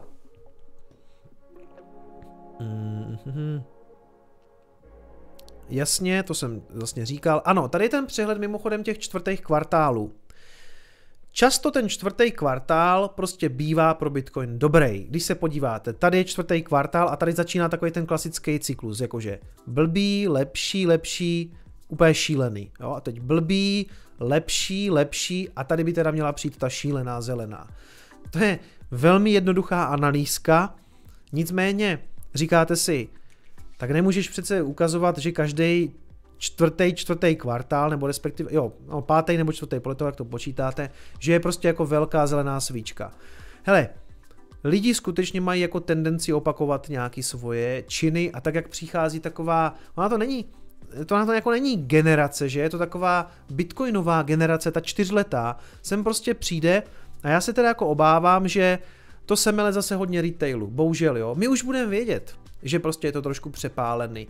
A jako samozřejmě, že si myslím, že je logický prostě nad 100 tisíc třeba si vzít aspoň nějaký profit, kdyby se to zřítilo, já neříkám, to je vaše věc, pokud chcete hodlovat, hodlujte, jako jenom vás za to pochválím. Ale já znám spoustu lidí, kteří nevybrali vůbec nic a pak se čtyři roky dívali na to, jak se to mlátí v bear marketu a je to blbý. Jo? Prostě není to, říkáte si, mohl jsem si z toho něco vzít, mohl jsem si ty peníze trochu užít, mohli jsme jít s rodinou prostě na dovolenou, mohli jsme si koupit lepší auto nebo něco takového. Takže vy víte, co budu dělat já, vy se zaříte, jak chcete. Ale uh, bohužel, pokud je to... Hm, ten čtvrtý kvartál je zajímavý v tom, že my teď budeme sledovat, jestli skutečně vycházejí všechny ty predikce, všechny ty, všechny ty moonboysky predikce, co jsem říkal já, co říkal, co říkal Plan B a všechno by se to vlastně mělo ukázat v rámci toho čtvrtého kvartálu, případně se to možná ještě protáhne jako do Q1 nového roku, do toho prvního kvartálu, to znamená leden, únor, březen, jo. To, to my nikdo samozřejmě nevíme, jak, jak rychle to prostě vyletí. Já se obávám jedné věci, že se na tom spálí spousta nových jako retailových investorů, takových těch běžných, kteří prostě přijdou, uviděli tady toho týpka prostě u Krause, on říkal kupte si to, ty vole oni do toho dají prostě baráky, prodají to a pak mě budou tady někde nahánět. To jako nechci. Proto chci taky mírnit to nadšení, že vy z té fázi, pokud na tom vyděláte, skvělý, vyberte si ten vklad. Vyberte si to, budete mít klid, jo. Vybral jsem z toho vklad, dobrý, o nic jsem nepřišel, teď už se ten kolotoč bude točit zadarmo. Samozřejmě tu strategii si udělejte jak chcete, já jenom prostě teď, když budou přicházet, pokud se to teďka spustí, tak ten největší nábor těch nováčků zase tady na kanálu uvidíme od 60 tisíc nahoru. Já teď mám nových fanoušků třeba 2000 měsíčně. A oni přijdou a rozkoukávají se a moc neví. Takže všichni přátelé na úvod do Bitcoinu www.úvoddobtc.cz Tam prosím vás začněte. V jisté fázi, pokud se vám to zhodnotí, já vám to přeju, ale v okamžiku, kdy to na tom budete mít nějaký profit, tak si to jako pěkně vyberte, abyste měli klid, jo, protože pak toho nebudete litovat. Já mám strach, co ten poslední kvartál udělá s nějakým novým retailem, jo. Takže budu muset trošku jako začít komunikovat trošku jinak, než tady půjdu vrchem spodem lid hopium, jo? To, jako, to můžeme my, co se tady známe, my víme, jak to funguje. Ale pokud to skutečně zafunguje tak, jak to všichni předpovídají, no tak prostě dřív nebo později prostě bude crash, jo? buď ve, ve Q1 nebo Q2 to začne a to bude blbý období. Prostě to, to, ne, to nebude dobrý, to nebude dobrý pro mě, pro nikoho. Hlavně hlavně šibajinu, přátelé, to jako, to poletí na rypák, jak kdyby ten pes přední ťapky neměl. Pozor na to. Pojďme dál. Ještě trošku nějaké on-chain analýzy. Tohle to je, uh, jak kdyby realizace profitu nebo jak, jak to je spend output profit ratio. Kdo jak vlastně prodává mince, jestli jsou v zisku nebo jestli jsou ve ztrátě.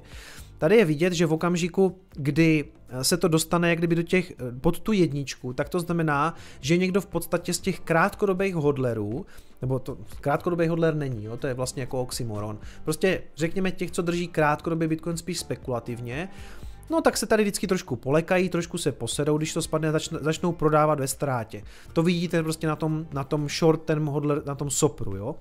A takových pár lidí bylo v létě, Eh, že vlastně prodávali ve ztrátě. Já nevím přesně, jak oni to měří. Jestli jestli to je jak kdyby přísun Bitcoinu na burzy, nebo je to prostě pohyb těch adres, jo. Ale budem, budem věřit Glassnode, že to měří nějak jako, že je to jako relevantní metrika. A tady vidíte, že spousta lidí v podstatě realizovalo ztrátu z těch krátkodobých, z těch krátkodobých spekulantů. A přes to léto, kdy to bylo nejníž, kolem těch 30 tisíc, tam ztratili ty nervy a prodali to. A znám takové lidi, znám je dokonce osobně. Brácha má takového jednoho kamaráda, co tam spanikařil a začal tam prodávat, že jo? Protože už viděl bear market. A hle, 50 tisíc a všichni jsme zase bullish, že jo? Takže pak obvykle přichází, že se to zase, že se posunou do profitu a pak tady bývá takový test jejich jako odhodlání, jo? že tady to vidět na těch modrých úrovních, že to vždycky stoupí ještě do takového jako testu, jestli jako skutečně ti krátkodobí jako věří. No a pak obvykle právě přichází jako nějaký ten běh té ceny nahoru. Jo? Takže uvidíme, jestli tohle to se vyplní. Každopádně často to bývá právě eh, po, nějaké, po nějakým takovým výprodeji, těch spekulantů, my se jich jako zbavíme, oni si řeknou, to byla blbost, prodělal jsem peníze a jdou pryč z toho trhu. No a pak, ten, pak přichází ten supply shock a k tomu se dostanu za chviličku. Jo, tohle je vlastně to samé, jo, jenom kdybyste tohle dali na Glassnode, tak uh, mě to Glassnode ukáže jenom do minulého roku, takže ty data končí 4.10.2020, takže mi tam celý rok chybí, protože nemám tier 3, jo.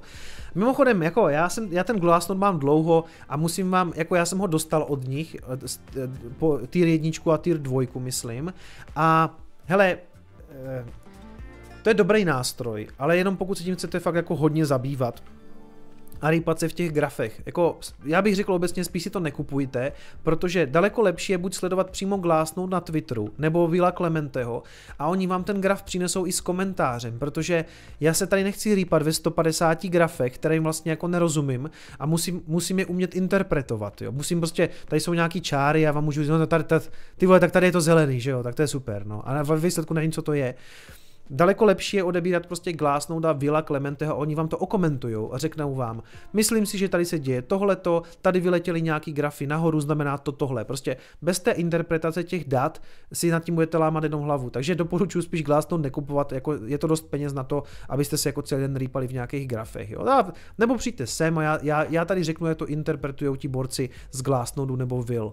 Mimochodem mezi tím Bitcoin už 5800, tak jsem zvědavý, jak dneska dopadnem.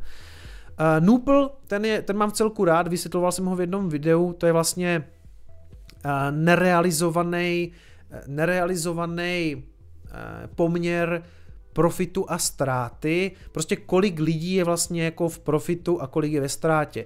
Aktuálně jsme víceméně v tom zeleném pásmu, to znamená, že jsme v nějakým jako beliefu, takže všichni teďka v podstatě jako věří, ale co je na tom dobrý, že my jsme na 50 tisících a jsme jako relativně nízko. Není to přehrátý, jo. My tím, že jsme skorigovali, tak se to celé ochladilo a dává to jak kdyby čas na to, aby ten bull market pokračoval. Prostě tady už se to blížilo do té modré části, nestihlo to ani zmodrat a zřítilo se to. Ale ve výsledku je to dobře, protože to prodlužuje ten, ten bull market. Takže Nupl za mě jako taky v pořádku, i když to je takový, Nemůžete se samozřejmě spolíhat na ty data uh, on-chainový, protože to, to jsou skvělé obrázky, krásné barvičky, ale to stejně říká jenom, vypovídá to něco o minulosti. Do budoucnosti to prostě nevidí. To se tady prostě může zřídit zpátky do toho žlutého pásma a jako čau pipi, jo. Takže uh, neumí to předpovídat budoucnost. Dá se z toho dát co zvyčíst, my se můžeme podívat do minulosti, jestli, jestli tam existují nějaké paterny, které by se třeba jako opakovaly, ale do budoucnosti to zkrátka nevidí. Pojďme dál. Tohle je zajímavý, opět s komentářem Vila Clementeho, že v podstatě dochází teďka k tomu supply shocku. Co to znamená? Uh, nejsou bitcoiny v podstatě, jo? Uh, ta nabídková strana, ta supply, je malá kvůli tomu, že roste počet těch dlouhodobých hodlerů. Když půjdeme až do roku, řekněme 15, tak to vyrostlo, ti hodleři skutečně jako naakumulovali, uh, ti dlouhodobí, a cena potom jela nahoru, protože ty bitcoiny prostě nebyly na těch burzách, protože oni jich velkou část potom drží ti hodleri, hodleři u sebe. No a pak to jede nahoru a oni samozřejmě někteří odprodávají, takže počet těch hodlerů vlastně vám klesne v době, kdy ten bitcoin je na svém absolutním maximu. Tohle je rok 2017, konec roku, to znamená přelom 17-18 a vidíte, že dlouhodobý hodlery máte na minimum, protože spousta z nich prostě prodala. V okamžiku, kdy to začalo padat, ta cena, tak oni začali štosovat zpátky, naštosovali si saty a vidíte, že ten jejich počet byl zpátky zase někdy na tom dně. Takže na tom dně tady někde začínal Bitcoinový kanál, Další supply shock. A jak to skončilo? Já jsem začal dělat kanál, respektive jak to začalo. Já jsem začal dělat kanál, došlo k tomu supply shocku a letěli jsme nahoru na 14 tisíc. To si pamatuju to léto, moc dobře si to pamatuju. Následně zase nějaká korekce, Zase došlo k supply shocku v okamžiku, kdy Bitcoin se začal hrabat zpátky na 10 tisíc a tady to popadalo kvůli koroně. To bych tam moc nepočítal, protože to byla fakt anomálie, nebo to byl jako zasažený celý svět. Další supply shock nastal v podstatě po půlení, ten byl jako jeden z největších i díky tomu, i díky tomu samotnému půlení podle mě, ale prostě hodleři naakumulovali zpátky a zase cestu nahoru prodávali ale vidíte, že tady ta prasklá guma, nebo ta povolená guma, vlastně jako nedojela až úplně dolů. To znamená, jak kdyby ne úplně všichni hodleři prodávali tohleto a mezi tím potom koupili v podstatě zpátky ten dip a naštosovali to zpátky. Takže teďka po té korekci my bychom měli být vlastně někde tady jako tam by mělo být něco jako all time low, ale je tam v podstatě all time high. My jsme zpátky na 50 tisících, ale hodleři to všichni drží. To znamená, nejsou bitcoiny, nejsou, nejsou bitcoiny na burzách, klesá tam jejich počet, když je jich tam málo, není tam co obchodovat, tlačí to cenu nahoru. Proto on to tady označuje jako supply shock, jako ten šok, jako ten nabídkový šok. A ne ten nabídkový jako, jako že by to bylo negativní ve smyslu, že by jich tam bylo moc, ale ten šok vzniká tím, že jich tam právě málo, protože to drží ti hodleři. Takže, a, takže uvidíme. Jsem řekl prasklá guma, myslel jsem povolená, jakože to ono tak jako nevím, proč si mě to ve mně evokovalo tuhle tu věc, ale každopádně, co je důležité, aktuálně hodleři hodlují a to jsme zpátky na 50 tisících, jo. Takže naposledy na takových úrovních ten naposledy ti hodleři na těchto těch úrovních té své državy, držby, byli někdy kolem all time high, kolem 17, ne, ještě dřív, ještě dřív, někde tady, někde kolem třeba 10 tisíc. Jo. A teď se vrátili na ty úrovně kolem 50 tisíc. Takže, hele, já si myslím, on tady píše buckle up, připoutejte se. Tak já jsem zvědavý. Kdy začnou pumpit alty?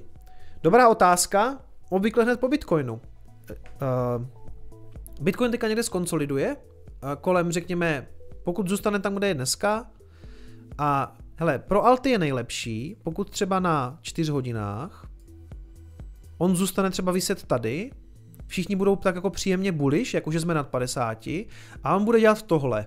A půjde třeba týden do strany. Já neříkám, že půjde, jo? To je příklad. Řekněme, že vletí na 51, spadne na 50 a tady se takhle bude držet. A to budou pumpovat altcoiny. To prostě v okamžiku, kdy Bitcoin je v klidu a má nějakou jako bullish pozici, Prostě teď je kdo, je, kdo říká, že tohle není bullish, tak se zbláznil, jo. to za 50 tisíc, ty, jako je to těžce přes milion. Tohle to, zatím to jako nevypadá moc na nějaký bear market, přátelé. A tohle, tohle svědčí Altum, jako stabilní, příjemná pozice Bitcoinu, který prostě konsoliduje do strany. Pak budou pumpovat altcoiny. Takže supply shock, taky pěkná věc. No a ještě jedna zajímavá věc, můj oblíbený graf hledání Bitcoinu po celém světě. Nebudu se tady opakovat s tím, že tohle to vyletí na trojnásobek, pětinásobek, jsem říkal, že to nebudu opakovat, teď jsem to zopakoval. Každopádně, co říct něco jiného. My máme Bitcoin na 50 tisících a nikdo ho moc nehledá. Ty úrovně vyhledávání oproti tomu maximu z roku 17 jsou na nějakých 20%. A ještě jedna věc, ještě jak se vždycky hádáme o tom, jako jestli to bude větší nebo nebude větší. Tenkrát kdysi v roce 17, na začátku roku, nebo v květnu tady vidím, Vlastně tohle to bylo svýho času all time high. To, tohle to bylo all time high. A do konce roku to vyletělo pětinásobně, jo? protože tohle je jak kdyby stovka a tady to vyhledávání bylo někde kolem 19 nebo 20, tady ta špice, asi 19, jo. To znamená, že to bylo, že to bylo pětinový, ale tohle to tenkrát bylo all time high. Rozumíte? Ten graf předtím neměl žádnou větší historii, tam to víc to nikdo nehledal. Pak někdy v srpnu se to dostalo zhruba na ty stejné úrovně a pak to the moon. Něco takového si myslím, že nás teprve čeká. Že to doleze na stejný úrovně jako v roce 17 a pak to the moon. Ale aktuálně Bitcoin za 50 tisíc skoro nikdo nehledá. I když tyhle ty data mají trošku spoždění z toho Google, jo, to už mohlo trošku vyletět. Ale i tak prostě. Nevím, jo, Neko, samozřejmě se můžu mílit, ale já bych si fakt vsadil na to, že tady ten kopeček bude trojnásobný až pětinásobný. A nemůžu vám to dokázat, musíme počkat. Pojďme dál. Willy Wu tady předpovídá, že by to mohl být poslední cyklus v tom smyslu, že dřív třeba mohl mít hodně vliv na to, co, na, ten, na to mm, cyklické chování Bitcoinu právě půlení. Ale dneska už to půlení nemá takový vliv, protože jestli vám přibývá do oběhu každých 10 minut 50 bitcoinů nebo 25 bitcoinů, je daleko větší rozdíl, než když je to uh, teď je to kolik, to 6 a čtvrt a bylo to 12 a půl, bylo to 12,5 let, je to 6 a čtvrt. A pak to bude jenom 3 a 1 osmina, jo. Ty skoky už nejsou tak velký. A on kdyby předpovídá, že už nebudou vznikat takový cykly kvůli tomu, že prostě ta, ta monetární inflace už není tak skokově upravovaná. Už, už to nejsou takový skoky. Ale já nevím. Jako vždycky, když se tyhle ty teorie objevují, tak já jsem opatrný, trošku jako zbystřím, protože je to klasicky jako tentokrát je to jiný. A to já, na, já si myslím, že tentokrát to moc jiný nebude. Prostě zavírat bohužel ten krámek zase bude retail, který přiběhne a nasype tam prostě zase celoživotní úspory. Jo? A já jim tohle to teda rozhodně nepřeju a zrazuju od toho. A do jisté míry si myslím, že to zase způsobí bublinu a ta bublina zase splaskne. Už ne třeba tolik, nebo je to třeba 80-90%, to už zřejmě ne, bude to třeba jenom, jenom 70, jo, nebo 75. Ale On v podstatě předpovídá, že už budou jenom nějaký menší korekce a říká, tady to taky vyletělo, skončilo v korekci, vyletělo, skončilo v korekci, takže to vyletí, skončí v korekci, že už jako nemáme spolíhat na ten cyklus. OK, je to možný, je to varianta, já si stejně myslím, že jako typl bych si, že uvidíme korekci na Bitcoinu přes 70% ještě, někdy v budoucnosti. Jo? Uvidíme, uvidíme. Ale může mít pravdu, může mít pravdu. Jenom tady ukazuje jako pro nějaký ucelený pohled. No a to je asi všechno, je to tak? Já už jsem si zavřel tenhle ten... Jo, jo, jo, je, to všechno, co jsem chtěl tady z těchto věcí, v podstatě můžeme jít potom už rovnou na nějaké jako zprávičky. To jsou spíš takové jako drobnosti dneska, takový jako pár zajímavých věcí. Dobrý, půl desáté, jo, to je tak akorát bych řekl. Bitcoin za 5800, OK. Tak, kde jsem skončil? Adada.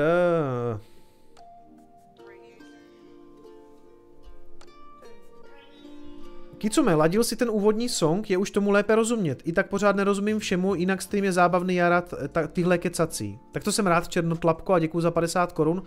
Uh, jo, ladili jsme to.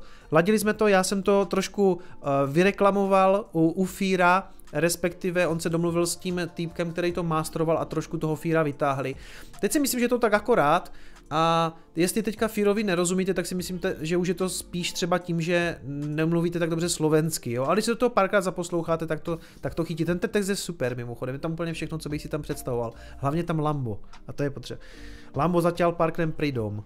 A ještě to končí, že jo, jak to končí? Uh, uh, že na, na důchodku štrngáme si sekt s Babišem v šato, v šato ve Francii. Byl, aby nebyl v jiném šato. Zamří, že má v šato. Uh, TM poslal 50 korun, 20 korun Martin Auge pro celebritu, děkuju. Uh, Palo Verde Bistro 25 korun, testovačka před zahájením přijímání plateb přes Lightning, takže v Palo Verde Bistro zřejmě budou taky přijímat Lightning, to je super. Spokojený Parchant posílá 50 korun první test Lightningu, děkuji za tvoji práci, já děkuji moc za donate, za podporu. Tom Koliba posílá dvě stovky, moc díky. Venca poslal 20 korun přes Lightning. Eh, Petko Hruška posílá 20 korun, testujem, test, testujte přátelé. A Agama Point posílám, co mi zbylo v čipu Leno Urlo po víkendovém Hackers Kongresu. Zmiňoval si? Ještě ne, a chtěl jsem si to spíš nachystat do Coinespressa.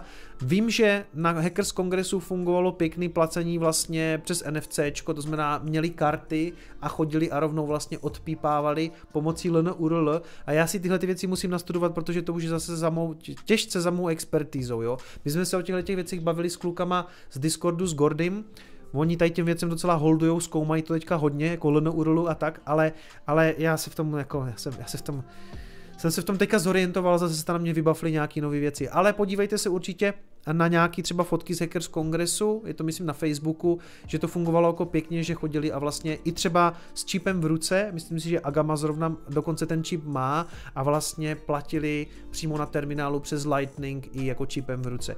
Když já ten čip v ruce, já to hrozně nemám rád to spojování s Bitcoinem, protože pak přijde Dominik Stroukal někam a oni se ho půl hodiny vyptávají na čip v ruce. A místo, místo toho, aby mluvil o Bitcoinu, tak se ho pořád ptají na něco, co s tím v podstatě nesouvisí, protože, protože to je nějaký biohacking, že jo? To prostě nemá s Bitcoinem vlastně tolik společného. No.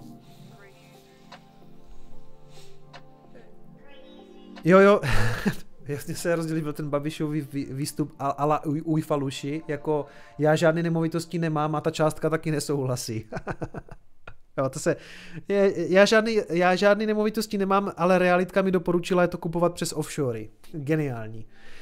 A to, to ješ to tak posral, ty vole, kdyby držel hubu. No, ale on prostě... Ne, ne, že bych jako, já jsem rád, že to posral, jo, ale fakt jak gumídek, ty vole. Teď si mě najdou. ale mě najdou však, však všecko, však v pohodě. Že já to schovám, já to schovám v těch offshorech.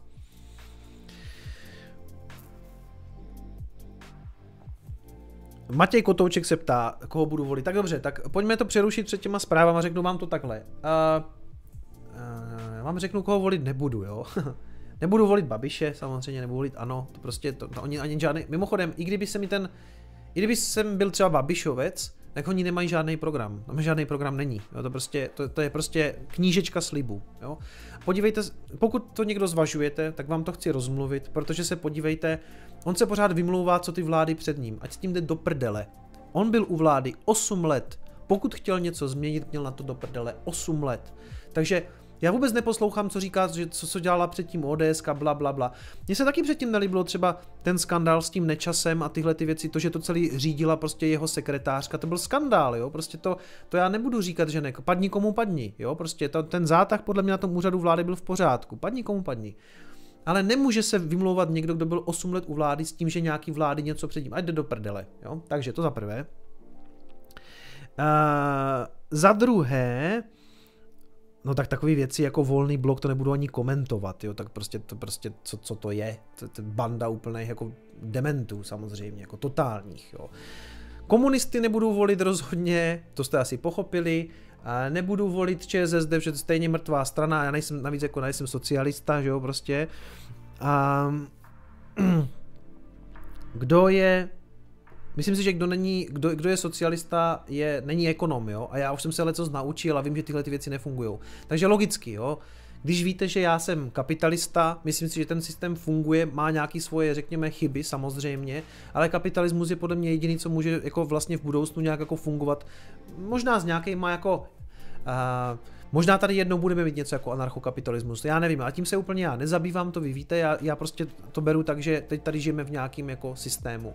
A abych, co, takže co jsem řekl, ano, Komanče, to je jasný, SPD taky, jako to jsou fašovní, jako, jako, jestli si myslíte, že tam ti borci něco vyřeší, prostě, eh, to, to jsou koritáři, podívejte se na ten, na ten mozkový trust, co v SPD je, jako, může se vám líbit Tomio, kvůli tomu, že je to třeba dobrý řečník, podle mě teda není, jo, ale prostě zbytek té strany jsou gumítci, Promiňte, jako jestli to někdo volíte, tak prostě sorry, ale jako oni nemají žádný recept na nic. Nemají, nemají. Jestli si myslíte, že mají, tak jako to jsou typicky ti lidi, co chtějí skončit v těch pozicích, jako v těch různých jako dozorčích radách, jo. A vyjde jim to, protože se tam dostanou, dostanou ty prachy a jako, no, takže, takže co, co, mi, co mi tam zůstane? Co mi tam zůstane?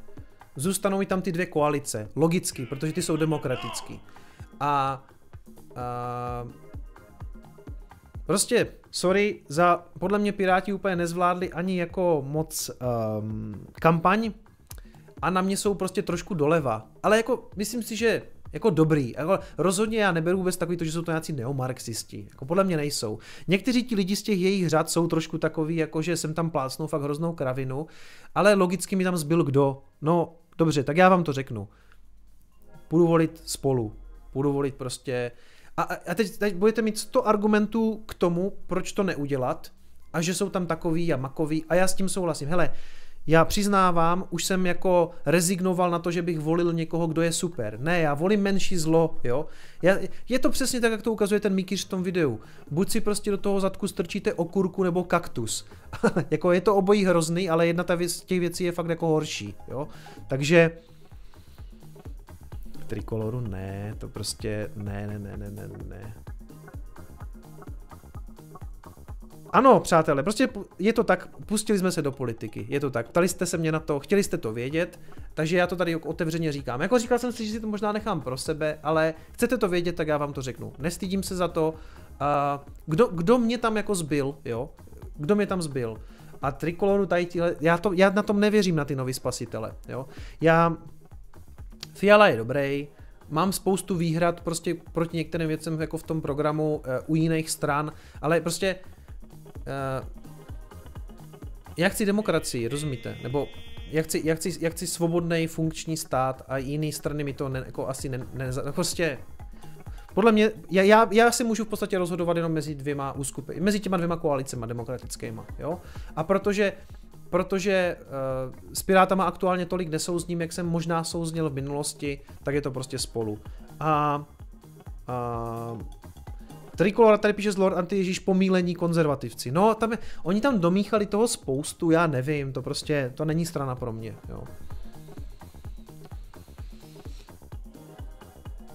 Jaký co mi padají ti odběratele? Hele, možná jo, ale pro mě asi jako důležitější být jako, když se mě někdo na to zeptá a já mám prostě Nechci kolem toho chodit jako kolem horké kaše. Někdo se mě na to zeptal, tak já na to odpovím. Mohl jsem to asi projít bez komentáře, ale mám pocit, ka- každý ty volby, vždycky se říká, že jsou to ty nejdůležitější volby, jo.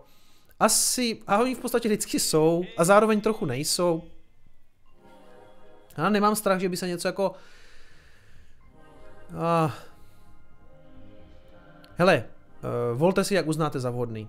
Volte, vol, je to vaše věc. Je to vaše věc. Já nejsem přece vůbec žádná autorita, která vám bude říkat, koho vy máte volit. Ale když se mě zeptáte, proč já volím toho, koho volím, tak vám řeknu ty svoje důvody. A chci, abyste to jako respektovali. Prostě jako, to jsou moje důvody. Možná vám přijdou slabý, možná vám přijdou chaby, ale koho já si jako pravicovej volič a kapitalista mám vybírat? No, nemám tam vlastně nikoho, koho si můžu vybrat, kdo by úplně splnil moje představy proto volím menší zlo. Nebo jako, tak kdo mi tam z toho tak jako vyšel, no. Spolu. A vy... Dokonce, když to vypadá, že se nějací lidi přidali tady, vidím. ne, vůbec, hele, uh, Mm, Ježišmarja, to se rozjelo. Ježiši, to já jsem zase něco udělal, no. Hele, uh, volte si jak chcete. Volte jak uznáte za vhodný. To je vaše věc. Chtěli jste slyšet můj názor, já jsem ho řekl, tak ho respektujte a pokud se vám nelíbí a nelíbím se vám já, tak můžete vypnout ten stream, jo. Ale zatím to nikdo moc nedělá, 2374 lidí. Ale hlavně, uh, já si stejně myslím, že jsme tady jako hodně asi podobná skupinka lidí, že budeme přemýšlet hodně podobně, zvlášť prostě, když máte Bitcoin, tak v podstatě jste předurčení k tomu, abyste byli kapitalisti a asi přemýšlíte spíš doprava, takže, takže tak, no. Nechceš do politiky moc, ne, kluci a děvčata, asi ne. Bitcoin je skoro na 51. Hele, dobrý, Měl jsem si to nechat až na závěr, to byla asi chyba to řešit teďka v půlce, ale nikdo neodešel moc, tak je to v pohodě. Pojďme dál řešit Bitcoin, jo, pojďme dál řešit Bitcoin. Jestli jsem vás naštval, váš problém, já jsem řekl, co si o tom myslím. Jo, já, já půjdu volit, jestli vy nejdete volit, tak si myslím, že spíš děláte chybu, protože, nebo Ale dneska už taky dokážu i pochopit lidi, co třeba volit nejdou, ale myslím si, že by se nám jako hodil ten váš hlas k tomu, aby jsme tady, nechceme tady mít ty stejné lidi, co to řídili teďka. Asi tak, jo, prostě. Já, a nechci tady vládu už s komunistama, pojďme je poslat do prdele už. A, a nechci tady ani, a nechci tady už ani toho Babiše, no, takže tak. Pojďme dál, pojďme tak. Pojďme dál. Bitcoinek máme skoro na 51, chybí tam stovečka, ještě se na něho dneska podíváme. Tak a nějaký, no samozřejmě všichni řeší uh, to proražení té padesátky. Ježíš Maria, já se tak netěším na komentáře pod tady tím videem, to bude zase. Neměl se do toho pouštět. Proč se o tom bavil? A, proč neřešíš Bitcoin? Řeš, řeš, čemu rozumíš, neřeš politiku. A já vždycky na to, když se na to někdo zeptá, tak já prostě... A, ale jo, hele, proč ne? Jako Bitcoin svým způsobem je vlastně taky politikum takový. Jo, prostě nevyhnete se asi tomu, že trošku řešíte nějaký světový dění a samozřejmě i to dění u nás. To, co každopádně Hele, dobrý. To, co každopádně dneska řeší, je každý je, že Bitcoin prorazil 50 tisíc. Je to taková ta pěkná meta, to si pojďme přiznat. A druhá věc je, že od 50 už je to jenom dalších 50 na to kilo. Jo? A co je ještě zajímavé, že vlastně nedávno tam byl, on byl nad 50 tisícema v době, kdy Salvador to při, přijal jako, jako zákony platidlo, No a pak se to trošku zřítilo na 40 a jsme zpátky, jo. Takže jako čím víc těch pokusů bude, nebo respektive teď, když jsme se tam vrátili, tak jako je to nějaký překonání zase nějaké bariéry, takže uvidíme, jako jak to dopadne. A já si myslím, že by to mohlo dopadnout velice brzo, velice dobře, no. Je, tady nevím, jsem si něco zaškrtl. Každopádně. Uh, hele, jinak samozřejmě ještě chci zopakovat, takhle volím já, vy volte, jak uznáte za vhodný. Instituce se nám vrátily, aby nekupovali bitcoin a mimochodem tam nakupují i jiný, eh, jiný asety digitální. Já jsem si s, dovol, s dovolením tady vzal nebo propůjčil článek eh, z, od Martina z kryptonovinek, protože to má přeložený do češtiny, tak je to pro mě jednodušší. Bitcoin přilákal nejvíce institucionálních peněz, následovalo Ethereum. Z čerst... Vidím, že potom mým výlevu volebním přestali chodit donaty. No. Čerstvého reportu CoinShares, která, která každé pondělí zveřejňuje výsledky největších světových kryptofondů, vyplývá, že uplynulý týden měli institucionální investoři největší zájem o kryptoměnu Bitcoin. CoinShares vždy v úvodu týdne zveřejňuje čísla nejsledovanějších kryptofondů Grayscale, CoinShares, 3EQ, 21 Shares, Purpose a tak dále, tak dále. Přes tyto fondy mohou instituce investovat do kryptoměn Bitcoin, Ethereum, Binance Coin, Solana, Cardano, XRP, Polkadot, Litecoin, Bitcoin Cash nebo do koše různých digitálních aktiv. O Bitcoin byl jednoznačně největší zájem. Z nejnovějšího reportu vyplývá, že akreditovaní investoři v minulém týdnu nejvíce investovali do Bitcoinu, jehož bilance stoupla o 68,7 milionů dolarů. Stalo se tak třetí týden v řadě, co skončil u těchto kryptofondů v černých číslech. Dohromady za poslední tři týdny do něj instituce přes tyto investiční nástroje investovali 115 milionů dolarů. Co je asi zajímavé je, že skutečně Uh, to není jenom Bitcoin, ale hned v, závě, no v závěsu. Ethereum je nějakých jako, má objem 20 milionů. A druhý největší zájem byl o Ethereum, jehož bilance stoupla o více než 20 milionů dolarů. Následoval koš různých kryptoměn 1,9 milionů, a potom Cardano a potom Solana. Já nevím, co je přesně v tom koši, jo, ale um, hele, určitě je to tak, že Určitě je to tak, že samozřejmě oni budou kupovat i ty alty, jo, protože oni tam uvidí to zhodnocení. Já jsem teďka viděl mluvit eh, Raola Paula, který dlouho držel jenom Bitcoin a on má teďka v Bitcoinu jenom 5% oproti tomu zbytku. On má 70% Etherea, 5% Bitcoinu a pak nějakých jako 25% všeho možného, protože on to vysvětloval. A jako já s ním jako nesouhlasím v tom, že si já chci držet prostě to v nějakým jako v tom safe assetu, jako je ten Bitcoin, a on samozřejmě jako chce spekulovat, jako on ví, že jsme v bull marketu a že některé tyhle aktiva prostě poletí rychleji. A já se na něho nemůžu zlobit, protože on je jako investor, který sleduje profit hlavně v dolaru.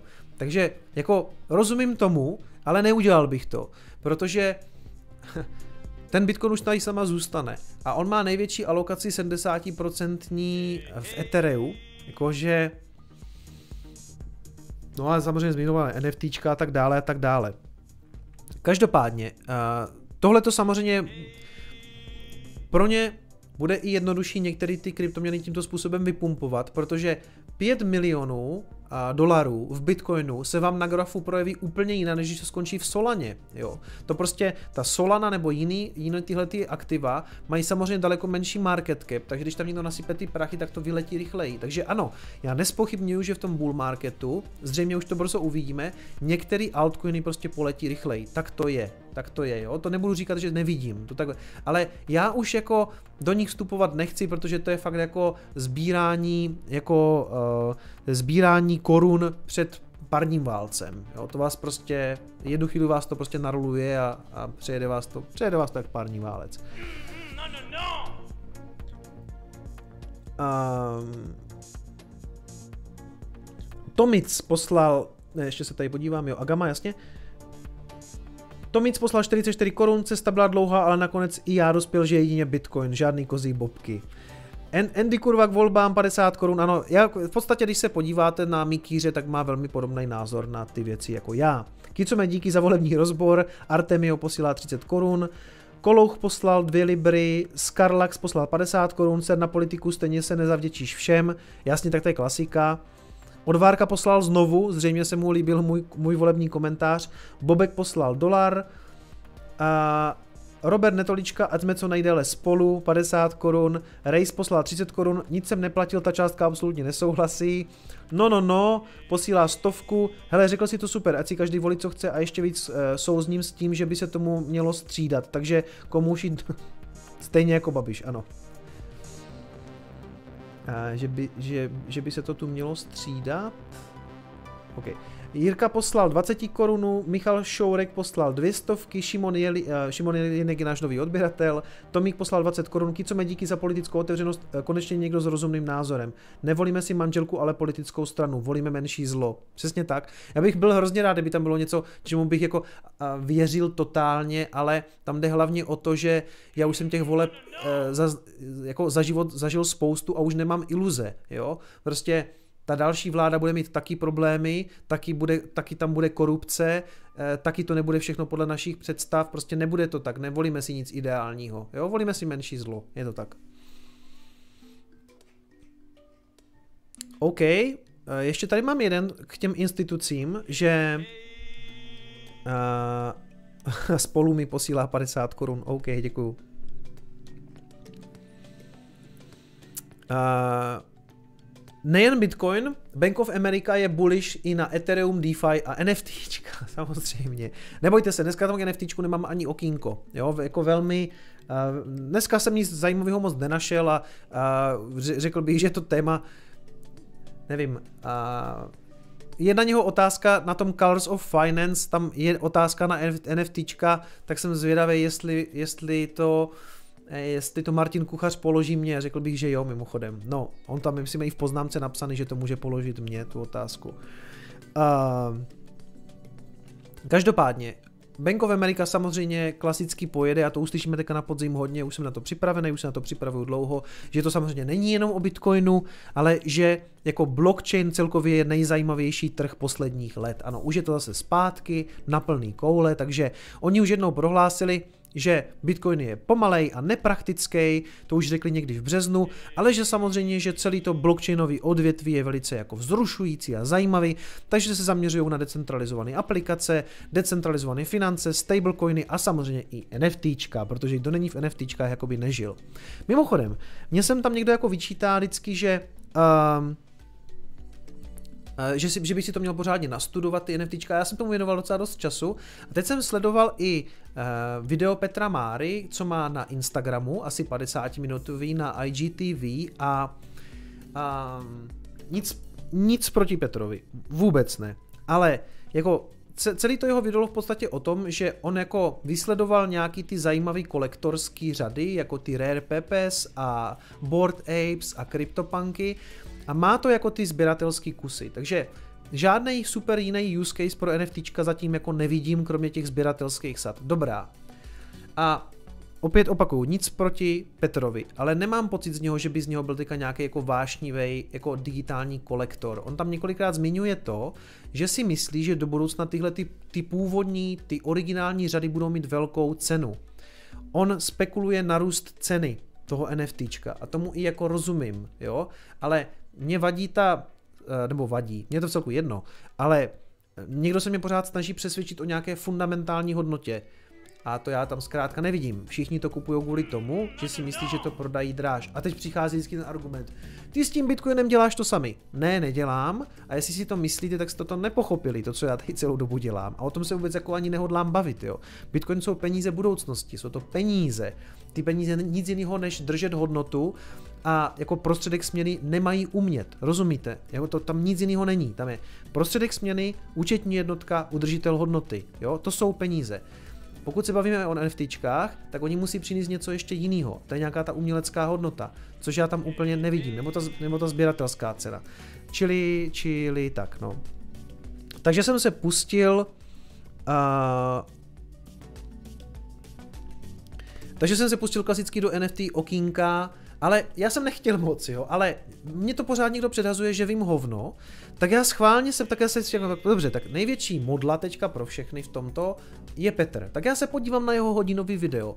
A neviděl jsem to celý, já jsem to tak jako proklikal, jo, ale prostě tam nebyla, tam, sorry, jestli se na to Petr bude dívat a já ho nechci naštvat, vůbec ne. A tam nebyla žádná zmínka o nějaké jako super fundamentální hodnotě. On to sbírá jako spekulant na to, že to bude mít velkou cenu, jako, jako kolek, ale nemám z něho pocit, že by to byl vášnivý kolektor NFTček.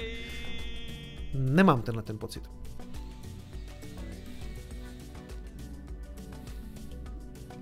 Já rozhodně nemám ten pocit. no nic, Hmm, nebudeš někdy v budoucnu na show u mistra Kubelíka? Hoši, a nechci se nikam spát, ale tam bych šel rád, protože já mám rád pálivý jídlo a oni tam mají ty žebírka, takže tam bych jako, tam bych klidně šel, jo. Ale nebudu se, jako, nepište mu nic takového, já si nemyslím, že by tam mě zval, nebo já ne, on tam má docela širokou škálu lidí, ale tam bych šel, protože bych se tam zadarmo najedl pálivýho jídla, což je super. Ale asi by mě to trochu jako pobrnkalo, že? Sem tam vidím ti lidi, jako že to moc nedávají, to, co on tam do nich jako sype, no. Tam ti to vypálí prdel. Za měsícky co v Žebírkově. To by bylo super, já mám rád Žebírka, mám rád pálivý. Ten typek vypadá v pohodě, když asi by mě tam trochu jako podrtil, to jo. Ale to vypadá, on vypadá fajn, jako rozumnej takovej. Je tam 51, ej! Je tam 51, fakt. Vidím, že jsem to tam tentokrát nechal, ten horní, no je, skvělý, skvělý, skvělý. Pojďme dál, pojďme, pojďme tak na 53.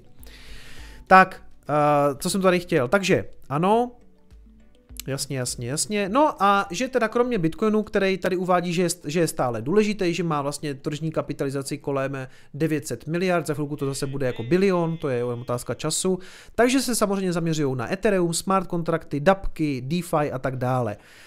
A už to vás přichází. V blízké budoucnosti budeme používat blockchain technologii na odemykání telefonu, nakupování akcí, domů, budeme si kupovat frakci Ferrari, jakože kousíček, budeme dostávat dividendy, budeme si půjčovat, uh, budeme, bude nám půjčováno, nebo respektive my budeme půjčovat, budeme ukládat peníze, budeme platit benzín i pizzu. Platit benzín i pizzu budeme, to už můžete konec konců v Salvadoru. Ale kde oni se zas vzbudili, že blok, pomocí blockchainové technologie budeme ode, odemíkat telefon? Hoši, Tohle přesně jelo před těma čtyřma rokama a tenkrát jsem tomu věřil. Tenkrát jsem si říkal, jo, jo, jo, všechno na blockchainu. Budeme trávu natírat na zelenou pomocí blockchainu. Všechno bude blockchain. A hele, sorry, ale jako uh, nemyslete si, že v těch bankách typu jako Bank of America sedí nějací jako super analytici. Nesedí. Jako tam budou borci, co jsou v tom rok, dva namočení a teď jako objevili to kouzlo toho blockchainu. Mně se to stalo taky. Dřív nebo později z toho vystřízlivý, zřejmě, ale jako... No, je to klasika, protože zase se to opakuje. Já nevěřím, já skutečně nevěřím tomu, že v blízké budoucnosti budeme oblik, uh, uh, odemíkat pomocí blockchainové technologie telefon, nebo že si budeme kupovat frakci Ferrari. Jakože, no, ty vole. No a samozřejmě tady citují, že i zajímavý je ten trh s těma NFTčkama, že jo, takže uh, tyjo, kdo není v NFTčku, jak kdyby nebyl. Jesus, ty vole. Nicméně, i oni sami teda jako trošku spochybňují to, uh, kde se ty NFTčka dneska pohybují cenově, že je to šílený, že tady třeba se baví i o tom projektu Loot, o kterém jsem tady mluvil, kde se prodali jenom ty vlastně jako slova v tom, v tom černém pozadí, jo? Tam, jako že jste si koupili to slovo. To mně přijde úplně za roh, jako sorry, to je úplně za roh. A mm, to oni tady jako, že z toho mají taky trošku takový jako, že mají o tom svoje pochyby, pochyby často přicházejí v pochybách, takže uvidíme, jak se bude dařit Bank of America investování do kryptoměn, ale prosím vás, ještě jedna potřeba eh, uvědomit si jednu věc. U všech těch bank, ať už je to Bank of America, nebo JP Morgan Chase, nebo Morgan Stanley, nebo Goldman Sachs, jim jde hlavně o to, do toho narvat lidi, aby je stáhli o ty fíčka. Oni chcou prostě ty poplatky. Puste si vlka z Wall Streetu, on to tam vysvětluje. Nejde o to, jim, jim je jedno, jak se těm lidem bude dařit na té burze. Jim je to úplně jedno. Hlavně, když jim to můžou prodat, když to můžou prodat zpátky, když můžou koupit něco jiného, tam můžou nakoupit nějaký shitcoiny. Za každý ten trade si ta banka prostě vezme ty fíčka a to je o co jim jde na prvním místě. Jo? Kdyby mi o to šlo taky tady s vama, tak vás naženu do nějakých takových věcí, já po vás chci jednoduchou věc, nebo vy si dělejte, co chcete, ale já si myslím, že je rozumný koupit si Bitcoin na národovou peněženku, neobchodovat to, jo.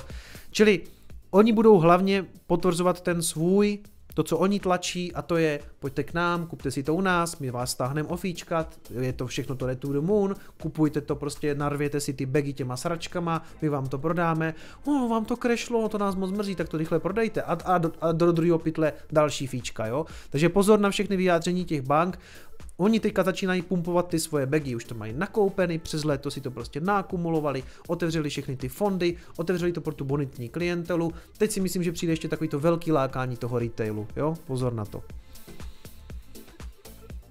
To je všechno tady k tomu článku. Jenom pár takových jako ještě zajímavostí, že je ten USDC coin, ten, co, co dělá Circle a zároveň je, myslím, vlastně i na Coinbase, tak je vyšetřovaný SEC. A Nevím přesně proč, s tím, že to není zřejmě veřejná informace a naběhli tam prostě nějací agenti z SEC, a začali jako s tím, že oni teda kooperují, že by všechno mělo být v pořádku, Hele, SEC teďka jde po všech těch stablecoinech, nebo myslím si, že jak budou zkoumat, jestli skutečně mají krytí, jestli je to v pořádku, to nemusí, nemusí to být nic jako závažného, jo. Já jsem to jenom tak proletěl a v podstatě je tam něco ve smyslu, že je tam nějaká obava a nevíme a, a nemůžeme zveřejnit, takže my v podstatě jenom víme, že tam naběhl Gensler se svým týmem, ne přímo asi on, jo, a jsou tedy jako vyšetřovaní, ale historicky takhle oni vyšetřovali spoustu projektů s tím, že se ve výsledku jako nic nestalo, jo, takže vlastně o tom nic nevíme, jenom je asi zajímavý vědět, že se něco takového děje. Já žádný stablecoiny nedržím a moc tady tomu konceptu jako ani nefandím. Do budoucna stablecoin bude Bitcoin, jo, takže, takže tak. A dada. Taipan Talks mi poslal jeden švýcarský frank, spolu poslali 50 korun, černá opice, kicome, těším se na slibované video na Lightning v Trezoru a pak třeba ještě nějaké video na offshory, to by se taky mohlo hodit. Jo, jo, to by se nám, to by se nám určitě mohlo hodit. A... Raguafurmore, to nedokážu asi přečíst, poslal dvě stovky jedině pravice, dejte like Jaffovi, Dejte like Jaffové, poslal Vašek Straka, poslal 50 korun. Charles Vasa, uh, Pirstan a spolu jsou jak Bitcoin a Ethereum, zbytek jsou shitcoiny. Dobře. Zajímavý přirovnání, proč ne, ale v podstatě dej, dejme, ano, ano, dejme, dejme tomu. Zase, dneska se dívám pořád špatně, ale ano, dejme tomu. Johnny K. poslal stovku, uh, Malé Z poslal uh, 2,55, Chili Top, Nevím, čili, jo, jako jestli, jestli máš rád čili, tak já taky. A Radek 100 poslal 50 korun, logo Bitcoinu, co máš nad hlavou, vypadá jako svatozář. Ano, protože já jsem samozřejmě osvícený a svatý. Jednou mě budete svatořečit. Možná ne ve Vatikánu. Takže, všechno budete samozřejmě dělat blockchainem, takže já budu určitě potom vysvěcen blockchainovým bleskem z Lightningu bylo slabší. OK, pojďme dál. Hele, jedna zajímavá věc, jo. Uh, vidím, že tady, že Bitcoin pěkně pumpuje, no bylo, jako, by to skvělé, kdyby to kdyby to, se to posunulo mezi těch 50, hele, on totiž takhle. Ten Bitcoin, když se pak rozjede, tak on už jako jde, jo, s nějakýma korekcema, ale to může být jízda, jo, takže ono, jestli vám přišlo nereálný těch 100 do Vánoc, tak já si pamatuju, když jsme seděli a byl Bitcoin tak za 12 a já jsem říkal, že uvidíme do Vánoc 15 a pak to bylo najednou do Vánoc 20 a do nového roku to bylo myslím 30, jo. Myslím, že ještě před Vánocema jsme si tady štrngali sekt a, a pak do nového do roku šílenost. Takže, jak říkám, on jak se urve, tak poletí a budou vám volat maminky, tatinci, babičci, vše, všici, jak se říká tady na Hané.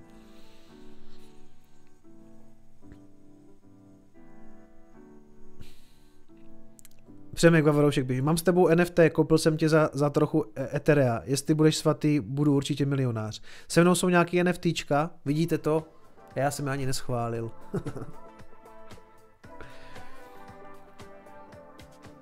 jo, takže včera jste asi zaznamenali, ono mimochodem s tím bojovali i ti lidi v tom divadle, protože si tam chodili a říkali, nic nefunguje, tady nefunguje internet, mě, mě nejde Facebook.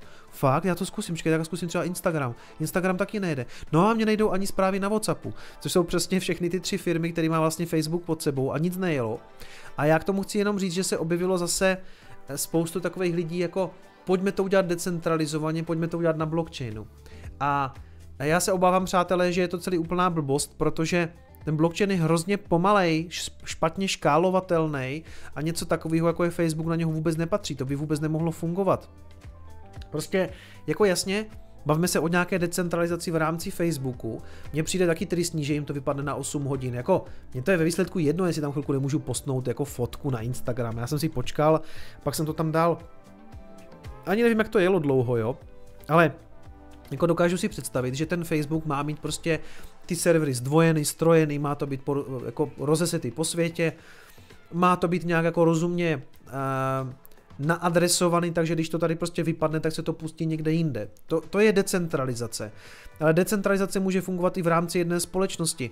Ale něco jako decentralizovaný Facebook jako nedává smysl, jako to je, to je prostě blbost, jo. To jako, i když, hele, já nevím, Uh, Twitter pracuje na nějakým tom, jak se to Blue Sky nebo něco takového a dělají na nějaké své jako kdyby decentralizované variantě, jo. Já přesně si to nedokážu představit. Ale myslím si, že jako přestaňme si představovat něco jako, že Facebook pojede na blockchainu. Jako blockchain je pomalá databáze, do, která se, do které se dá jenom přidávat, takže jako up and only. Potřebuje hodně proudu a je extrémně neohrabaná. A hodí se dle mého názoru jenom pro peníze. Takže moc bych se, a takový pokusy už tady byly, že jo, iOS se svým voicem. A kde to je? Ten voice spustili a první co řekli, že bude potřebovat KYC. Kde to je? V prdeli. Takže se na to neupínejte, já si myslím, že to nebude. A podíváme se, já jsem si tady samozřejmě opět schoval ten graf.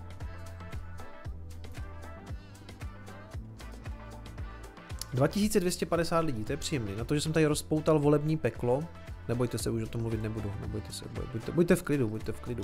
Hele, pěkný no, já se tam dám 4 hodinovky. A i na těch 4 hodinovkách, a ještě je to málo, jako, ještě je to, je to ještě nepřesvědčivé. První, co bych chtěl, první, co bych chtěl ještě vidět, je překonání této úrovně. až 20 let, kdo bude mít jeden BTC, dle mě bude patřit mezi vataře. T. Lukáš Rosso za 15 až 20 let to bude mít jeden Bitcoin podle mě patřit mezi vataře. A... No tak ono už ani teďka to není tak špatný, že jo, prostě jako, už je to, už je to milion. A pravda, že, hele, dneska ten milion už jako, zvlášť když zháníte třeba bydlení, což já naštěstí teda nezháním, ale prostě jako, vzhledem k tomu, vzhledem té inflaci a vzhledem k tomu, kam to všude nateklo prostě do těch baráků a pozemků, tak jako on ten milion, co, co si za to dneska koupíte. Jako jestli chcete, jasně, jestli chcete kupovat Playstationy a, a hry, tak jste v celku v pohodě. Pokud je vám 18, tak vám to přijde ten milion jako, že je to kupa peněz. Ale ono, když je vám 35 a 30 a přemýšlíte nějak jako o nějakým pozemku, o nějakým baráku, o nějakým autě, který budete potřebovat, nedej Bůh nějaké garáži, tak ono jako ten milion je takovej, jako stejně, když si budete vzít hypotéku, tak zjistíte, já tady mám spoustu kamarádů známých, kteří si šli, šli brát hypotéky a na nějaký normální malý domek s normálním malým pozemkem a lítá to někde kolem 7 milionů, jo? A to jsme v pro, 7, 8. To jsme jako v Prostějově. V Prostějově, tady jako to není úplně žádná super hit. Je to super město pro rodinu mimochodem, pěkný, já to tady mám rád ty vole, ale prostě jako to, to, to, to mega sem, mega tam, jo. Takže on jako, ale jo, za, 10, za, za 15-20 let dobuje mít Bitcoin si myslím, že na tom špatně nebude. A, a Lukáši moc děkuju za 8 stovek, děkuju. Tady budu hejtit politické strany častěji, když potom chodí takový donaty. Hele, uh, opakuju, zatím so far so good, jak já vždycky říkám, je to fajn, ale jako je to přes tu čáru, to jo, ale málo. To jako, zaprvé chcete, aby tam zavřela aspoň denní svíčka, takže jako to, co se stane do půlnoci, jak kdyby se nestalo, jo, to může sletět zpátky. Za druhé, i když je to tam pár dnů, i kdyby to tam bylo prostě pár dnů, tak to sletět může tady zpátky vždycky, jo? Ale nechci sejčkovat, jako super. Jak říkám, chci to vidět dolít ideálně na, tý, na tuhle tu úroveň, protože to je to minulý jako high. Pak by se to skutečně začalo jako hodně, bych už řekl, lámat. To je 52,5. Takže nad nějakých 53 si myslím, že už by to mohlo být jako potom hodně zajímavý. V okamžiku, kdy uvidíme 53, tak jsme překonali prostě tohleto, tohle, tady, to, tady to lower high vlastně, no a je to jako už jako v celku viditelný jako velký obrat a bude mu točit brzo na 60. No. To by bylo super, to by bylo super, do vánocký lečko, je to, je to pořád ve hře, je to ve hře. Teď to pěkně se to spojí prostě, že jo. Teď s tím Krausem, Zítra vychází ještě jeden se mnou podcast eh, na kanálu Haná jede. To je týpek Lukáš, on si tam zve jako takový hanáky, co dělají něco jako zajímavého, takže jsem tam byl. To vyjde zítra. Já říkám, přátelé, pokud jste mě viděli u kulatého stolu nebo víte, co tak standardně vykládám, tak se asi nic nového nedozvíte. Pokud máte uchylku poslouchatky, co mě tak, tak vřele doporučuju, zítra by to mělo být na kanálu Haná jede. Tak, ještě tam něco mám. Takže myslím si, že skutečně neuvidíme decentralizované sociální sítě, že to moc smysl nedává. Pojďme to ještě dojet, ty zprávičky. Bitcoin přežil čínský zákaz těžby a je silnější hashrate míří k all time high. Ano, my víme, že v květnu vlastně proběhl ten zákaz kryptoměn v Číně. Od té doby se to samozřejmě extrémně propadlo, protože oni to povypínali a zmizeli. No ale postupně, jak se nám přesunuli eh, po, po, různě po světě, jsou různě ve Spojených státech, jsou v Kazachstánu, jsou, jsou fakt v, v Rusku. Mimochodem dost velký počet eh, jako těch Číňanů, nebo té čínské těžby jako zůstalo, nebo aspoň to vidíme na těch čínských půlech. Já si myslím, že spousta z nich tu Čínu prostě neopustilo, protože pokud ten miner máte někde ve sklepě a jako ta země nás není taková, že byste tam dělali nějaký domácí razie, jestli náhodou něco netěžíte, jo. Takže pokud nemáte nějakou extrémní těžbu, jako je to otázka, ty, ty, mining, ty mining farmy zřejmě jako se odstěhovaly, nebo jsou dobře schovaný, nebo, nebo to těží přímo Číňani, doufám, že ne i když i to je možný samozřejmě, ale uh, část tam zůstala. No ale co je jako důležitý je, že od té doby neuplynulo zas tak moc času. Jak dlouho to je? Je to nějakýho třeba půl roku? Je to zhruba půl roku a víceméně ten hash rate se vlastně vrací zpátky, jo. takže ten výkon té sítě je hlavně to daný asi tím, že oni našli to nový útočiště, pozapojovali a jedeme dál. I když tenhle ten obrázek, co jsem tady našel, eh, ten útočí skutečně na all time high, nicméně co jsem třeba našel, co já ještě používám, tady tenhle ten hash rate, ten tam ještě zdaleka není, jo, takže ještě bych to bral s rezervou, a tady je to někde na nějakých 160 exahashích, all time high bylo na skoro 200, ale tak jako asi dobrý, no tady to 100, 180, než to tady úplně hitlo těch 200, 180, teď je to na 160, jo 160, jo hele, už je to fakt jenom kousek no. To už nehraje takovou roli, jestli je to 180 nebo 200, jo, nebo respektive 160, to není zase. Teď, teď, teď se zapojí sopečný Erik v Salvadoru a ten nám všechno, tady jak píše Steven, tak to všechno se samozřejmě spraví tím. Ještě něco tam mám. Jo, jsem tentokrát hodně vykradl kryptonovinky, doufám, že se, doufám, že se Martin nebude zlobit. Uh, Coinbase odhalila masivní hack uživatelských účtů, více než 6000 zákazníků přišlo o prostředky. Přední kryptoburza Coinbase zalistovaná na burze Nasdaq oznámila, že nejméně 6000 uživatelů se stalo obětí hackerského útoku. Um, s, cílem, uh, jo, s cílem získat neoprávněný přístup k účtům zákazníků Coinbase. Hackři také využili chybu u Coinbase procesu obnovy účtu přes SMS, aby přístup k uživatelským účtům získali. Uh, přátelé, první věc. Za prvé, nemá to co dělat na burze. Má to být v hardwareové peněžence. Jestli držíte něco na burze, OK, ale předpokládám, že to má být jenom kvůli tomu, že to chcete stradovat. Jo? Takže OK, ale držet na burze ne, to nechcete. Druhá věc, co nechcete, dvoufázové ověření přes SMS. -ku. To už nemáte používat. Jestli to někdo používá ověření SMS, tak se toho zbavte. Nainstalujte si eh, Google Authenticator, nebo nějaký jiný autentikátor, myslím, že se většinou se používá, a já používám Google autentikátor, nainstalujte si to, to řešení skutečně jako daleko, daleko, daleko bezpečnější než SMS. Nepoužívejte to ověření přes SMS. Pak se vám stane něco takového, jo? Těch 6000 ale asi není jako tak dramatický číslo, jako není to málo, není to málo, nechci to tady zlehčovat, ale hlavně do prdele nemá to co dělat na Coinbase, má to tam koupit a poslat pryč k sobě na hardwareovou peněženku. No. Přátelé, to je dneska všechno. Já jsem to prošel možná trošku rychleji, i když já jsem si říkal, že dneska možná skončím trošku dřív, protože jsme se včera vrátili domů asi o čtvrt na dvě, než jsem se dostal do postele, nebo respektive než jsem usnul, tak byly dvě hodiny, takže já jsem dneska celý den tak trošku přejetej. A do toho jsem měl ještě dva kóly, volal jsem si ze společnosti, asi to můžu říct, asi myslím, že jo, a dokonce řekli, že některé informace můžu vyníst. Volal jsem si ze společnosti Confirmo, která dělá ty platby.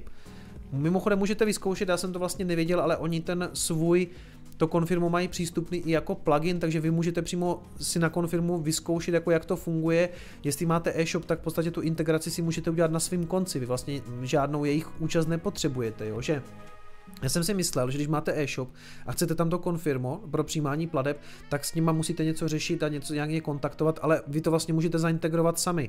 Oni dokonce mají uh, integraci pro Shopify a ještě jednu, teď jsem to zapomněl, ShopTet? To ShopTet? Nevím, jo, podívejte se na stránky. A i když tohle to nemáte, máte, máte nějaký custom made e-shop, tak tam jsou prý nějaký tři kóly, které volají v podstatě jenom tu jejich, to jejich apíčko a můžete si to dát jako sami. Ale co jsem chtěl říct, co je zajímavé, Confirmo dělá platby pro Alzu. Takže když platíte kryptoměnama na Alze, tak všechny tyhle ty platby zprostředkovává Confirmo. A já jsem s nima dneska mluvil jednak, že bych s nima chtěl udělat e, nějaký stream, ten vypadá třeba, že by do konce roku mohl klapnout. A Klapne taky dost možná z toho důvodu, že oni připravují Lightning a můžu to prej i tady vyklábosit, jo? že prej to jako můžu říct. Ještě to nefunguje, ale jsou ve fázi, že to chtějí přinést do konce roku a na základě toho potom bychom možná udělali i ten stream, kdy oni by to jako třeba tady představili, řekli, jak to funguje bla bla bla. Přichá, ode mě přišla logická otázka, jestli uh, ode mě přišla logická otázka, jestli to uvidíme na Alze, Nevím, proč tady píšete, že konfirmuje skem, to není žádný skem, to je zavedená česká firma, která ty platby dělá Satoshi Labs, Trezoru, dělá je Alze, dělá je Pilulce, dělá je všem možným firmám a je to vlastně přímo napojený i na CoinMate, protože to je v podstatě jejich sesterská firma. Já si to rozhodně nemyslím, že by to byl nějaký skem, to je zavedená společnost. Ale uh, co jsem chtěl říct, v okamžiku, kdy tam ten Lightning bude, tak na straně těch e-shopů není potřeba žádná úprava, takže v Alze se bude dát platit Lightningem a pokud to dobře dopadne, tak do konce roku. Jo.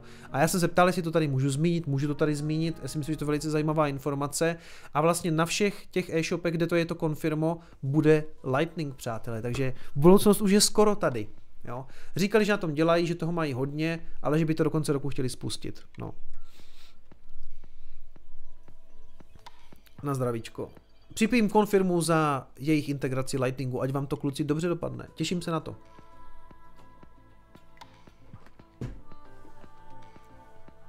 Ještě si doliju s vama. Přece vás tady nenechám. Stejně už vždycky, třeba kolikrát jsem jako před tím streamem unavený a říkám si, no tak doufám, že to tam doklepu, že? Zvlášť jako dneska. Jakože jsem šel spát pozdě a to. A měl jsem ten call s tím konfirmem a pak odpoledne ještě jeden. Oba byli asi jako na tři čtvrtě hodinky. A pak jsem si dělal přípravu na stream a říkal jsem si, no tak jako dneska by mě to odpustili, kdybych to skončil třeba o půl desáté, v deset. A no, stejně potom, když tady potom jsem, tak mě to v celku jako tak nabije. Ono, že jo, prostě chytnete takový ten, ten drive a začnete si povídat s tím chatem a, a je to takový jako celý fajn. A teď ještě, když to pumpuje, tak je to příjemný, že jo, to, jako, to já vždycky, to já vždycky vím, že za prvé, bude sledovanost, protože to tak je, cena jde nahoru, tak lidi se přijdou podívat na Kicoma, co, co, co zase o tom bude vykládat, nalivat hopium, že jo, tak to já umím, nalivat, nalivat pivko a hopium já umím. A druhá věc, co je to celkově takový jako pozitivnější, že jo, prostě, no, tak jako blbě se dělá stream, když to prostě padá a všichni jsou prostě z toho v nervu a tam zaučili nějaký peníze v nějakých shitcoinech. A teď jako Teď už to máte skoro, já jsem říkal, jestli uvidíme 51, už to máme 51,5, těch 53 ty vole tam může být klidně ráno. Nevím, jestli to tam jde takhle s nějakým objemem, tyjo. on to ještě není vidět, jo. než ty svíčky vždycky uzavřou za ten den, tak stejně ten objem vám nic moc neřekne. Ale to ještě navíc jako sleduju na Coinbase, takže on to není úplně tolik relevantní, jakože potom se lepší dívat i na nějaký jiný burzy. Každopádně, co jsem to chtěl říct? Jo, tohle jsem chtěl říct, dáme si tam ty deníky. Uh, auto. Prostě, rozumíte, ti medvědi si teďka koušou ty nechty u toho, jak nám všichni píšou, ti gumítci, nebo já, já nechci urážet, jo, ale prostě takový to, jak oni vás vyvádí z té míry na Twitteru a všude jinde, že přece je to jako jasný, že tady to přece jako spadne. A vy říkáte, a třeba ne, jako jak, žádná jistota neexistuje, prostě tady nějaká vlaječka, tu dudu a letíme tu dumu, na jaký co ty naliváš hopium, ty tvoje ovce, rozumíš, ty, ty v nich jako vzbuzuješ prostě plany naděje, radši to všechno prodejte, dokud je čas. Jestli, přátelé, chcete někdo prodávat, tak je rozhodně lepší prodávat na 50 než na 40. A sorry, jako jasně, tohle tam viděla spousta lidí, ono se to tak jako nabízelo, že, klasická jako taková dvojbublinka. Dobře, ale jako teďka, když tady vidíte jako, jako toto a třísk, jako co, co, co jako, co, co, co medvědi, zalezte spat, zalezte. Blíží se zima, pozbírejte si nějaký oříšky, zalezte, teď to ovládají bíci. Hele, ale jako nevíme, nevíme, jo, a já tady zase machruju, zase tady machruju, eh, za dva dny uvidíme toto a já zase budu říkat, no tak musíte věřit, že Bitcoin, budoucnost. a což samozřejmě tak je, jako, jako je to samozřejmě o té víře, že, to, že, že prostě na to máte ty nervy, ale děcka, kluci a děvčata, Teď o tom je celý tenhle ten kanál, že tomu věříme od začátku. Já, jako já jsem to na ničem jiném nevy, nevystavil. Já od nějakého třetího videa tady říkám, že to bude stát přes 100 tisíc a zatím si stojím. A někdo mi tam, řík, tam taky psal, že, že ty moje ovce mi tady posílají nějaký donaty za ty moje bezceny analýzy, tam někdo psal. To, že jsou moje analýzy bezceny, tady všichni ví protože já krátkodobě to moc netrefuju, i když poslední dobu docela jo mimochodem. A že, že stejně říkám jenom nahoru nebo dolů, ale já od začátku říkám nahoru, z dlouhodobého pohledu nahoru. Bitcoin jde jenom up, jenom má po cestě korekce. Ale jako těch 100 tisíc toho se tady dočkáme, to vám jako, nemůžu vám to garantovat, nemůžu vám to ani slíbit, ale myslím si to. A jestli to bude letos, je to možný, zatím to tak možná, jako nechci to slibovat, jo. Ale dřív nebo později jo, prostě je víc peněz na světě, část teče do Bitcoinu, kterého je omezené množství. Jako ta matematika je poměrně jednoduchá, na to nemusíte být prostě jako genius. Bitcoin je only up technologie. Doprava nahoru. Po cestě jsou korekce. To je celý. Ale jo, tak uvidíme, tady píšete, jako kde jsou rezistence, samozřejmě, že tam že to nebude úplně tak jednoduchý, ještě, jako teď jsme v tom pěkným, příjemným bullish pásmu, samozřejmě, že se mi tom jako hovoří teďka líp, že je to takový příjemnější, jako teď už to stojí 51 700, ty vole. Jako jasně, je, jasně, teď jsme tady zase všichni jako se napili hopia. Já neříkám, prostě ano, skorigovat se to může, jo, ale jako co, v okamžiku, kdy to útočí na 60, tak už jsme na 64 a pak jako na to nemusíte být technický analytik. Proražení all time high je bullish signál. A Jasně, na zlatu to úplně nedopadlo, tam se to teďka koriguje, ale zlato se hýbe prostě daleko pomalej, protože má tu obrovskou historii. A tam si myslím, že to bude taky dobrý. Mimochodem, jak na tom zlato. Jo, ono se prostě... Tím, že ten handle, tím, že ten and handle třeba na zlatě se táhne 10 let, To se stáhne od roku 11 do roku 21, tak ty pohyby jsou prostě celkově pomalejší. Tady se sformoval ten handle, dobře, teď to tady nějak konsoliduje, ale máte to těsně pod all time high. Ale myslím si, že v okamžiku, kdy zlato zautočí znovu na all time high, respektive na to nový high, co si stanovilo tím, tím kapem na nějakých jako 2, 2070, tak si myslím, že zlato bude taky dobrý. Jako Ona je prostě pomalejší, protože je už jako velký, je desetkrát větší, ono se hýbe prostě pomalu. V tomhle ten Bitcoin je prostě šílený, protože ten market cap je maličkej, že jo. Takže zase prostě přijdou velryby, narvou tam ten kapitál, letíme tu the moon, jsem zvědavý. Ty si dělal tady srandu, že můžeme dneska vidět 51, my tady klidně můžeme vidět třeba i 53, no. Hm, neuvidíme. Axion udělal tento rok 14 000%, to nevím, co je, to je, to je kryptoměna nebo, nebo akcie, nebo co to je. Jestli, jestli to jsou jakože Axi Infinity, to jsou ty NFT zvířátka. Samozřejmě, ale o tom já se vůbec nehádám. Hele, eh, jakože, že, že některé altcoiny poletí tu do moon. Poletí. A některé poletí daleko rychleji než Bitcoin, ale jak říkám, to je prostě to je sbírání čtvrtáku před párním válcem. Jo, prostě ten, podle mě ten čas na altcoiny už byl a pokud jste ho někdo využili, já jsem taky, do teďka držím samozřejmě ty věci a taky je chci prodávat s nějakým profitem a možná přijde nějaká alt season a jestli máte nějaký alty, tak vám přeju, abyste se jich zbavili s pěkným profitem, ale Um, až to padne, a ono to bohužel zase jednou padne, tak ty alty padnou jako strašlivě, jo, strašlivě.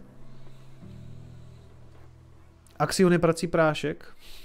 Kicomeco V-Chain. Hele, zdar Štěpáne, pořád ho mám pořád ho mám, chtěl jsem si ho uložit na Ledger už několikrát, ale tam se musí zastahovat nějaká jejich apka, takže tam já hřeším mimochodem, to je moje jediná kryptoměna, kterou mám na Binance. Tam to normálně jako kovářová kobila, ale nebojte se, bitcoiny rozhodně na Binance nejsou, jo.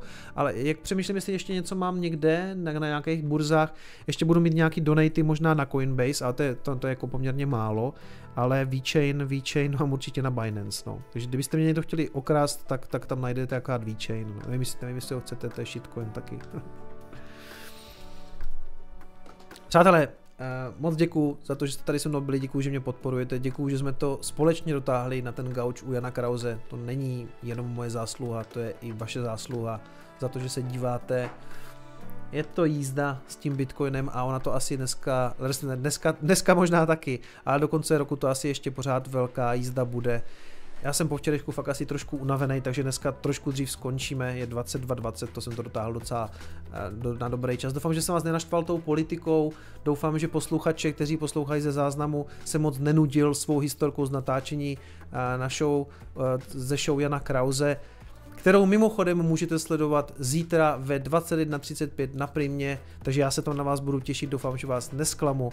Mějte se krásně, moc vám děkuju a pamatujte si, že peníze nejsou všechno. Ciao. you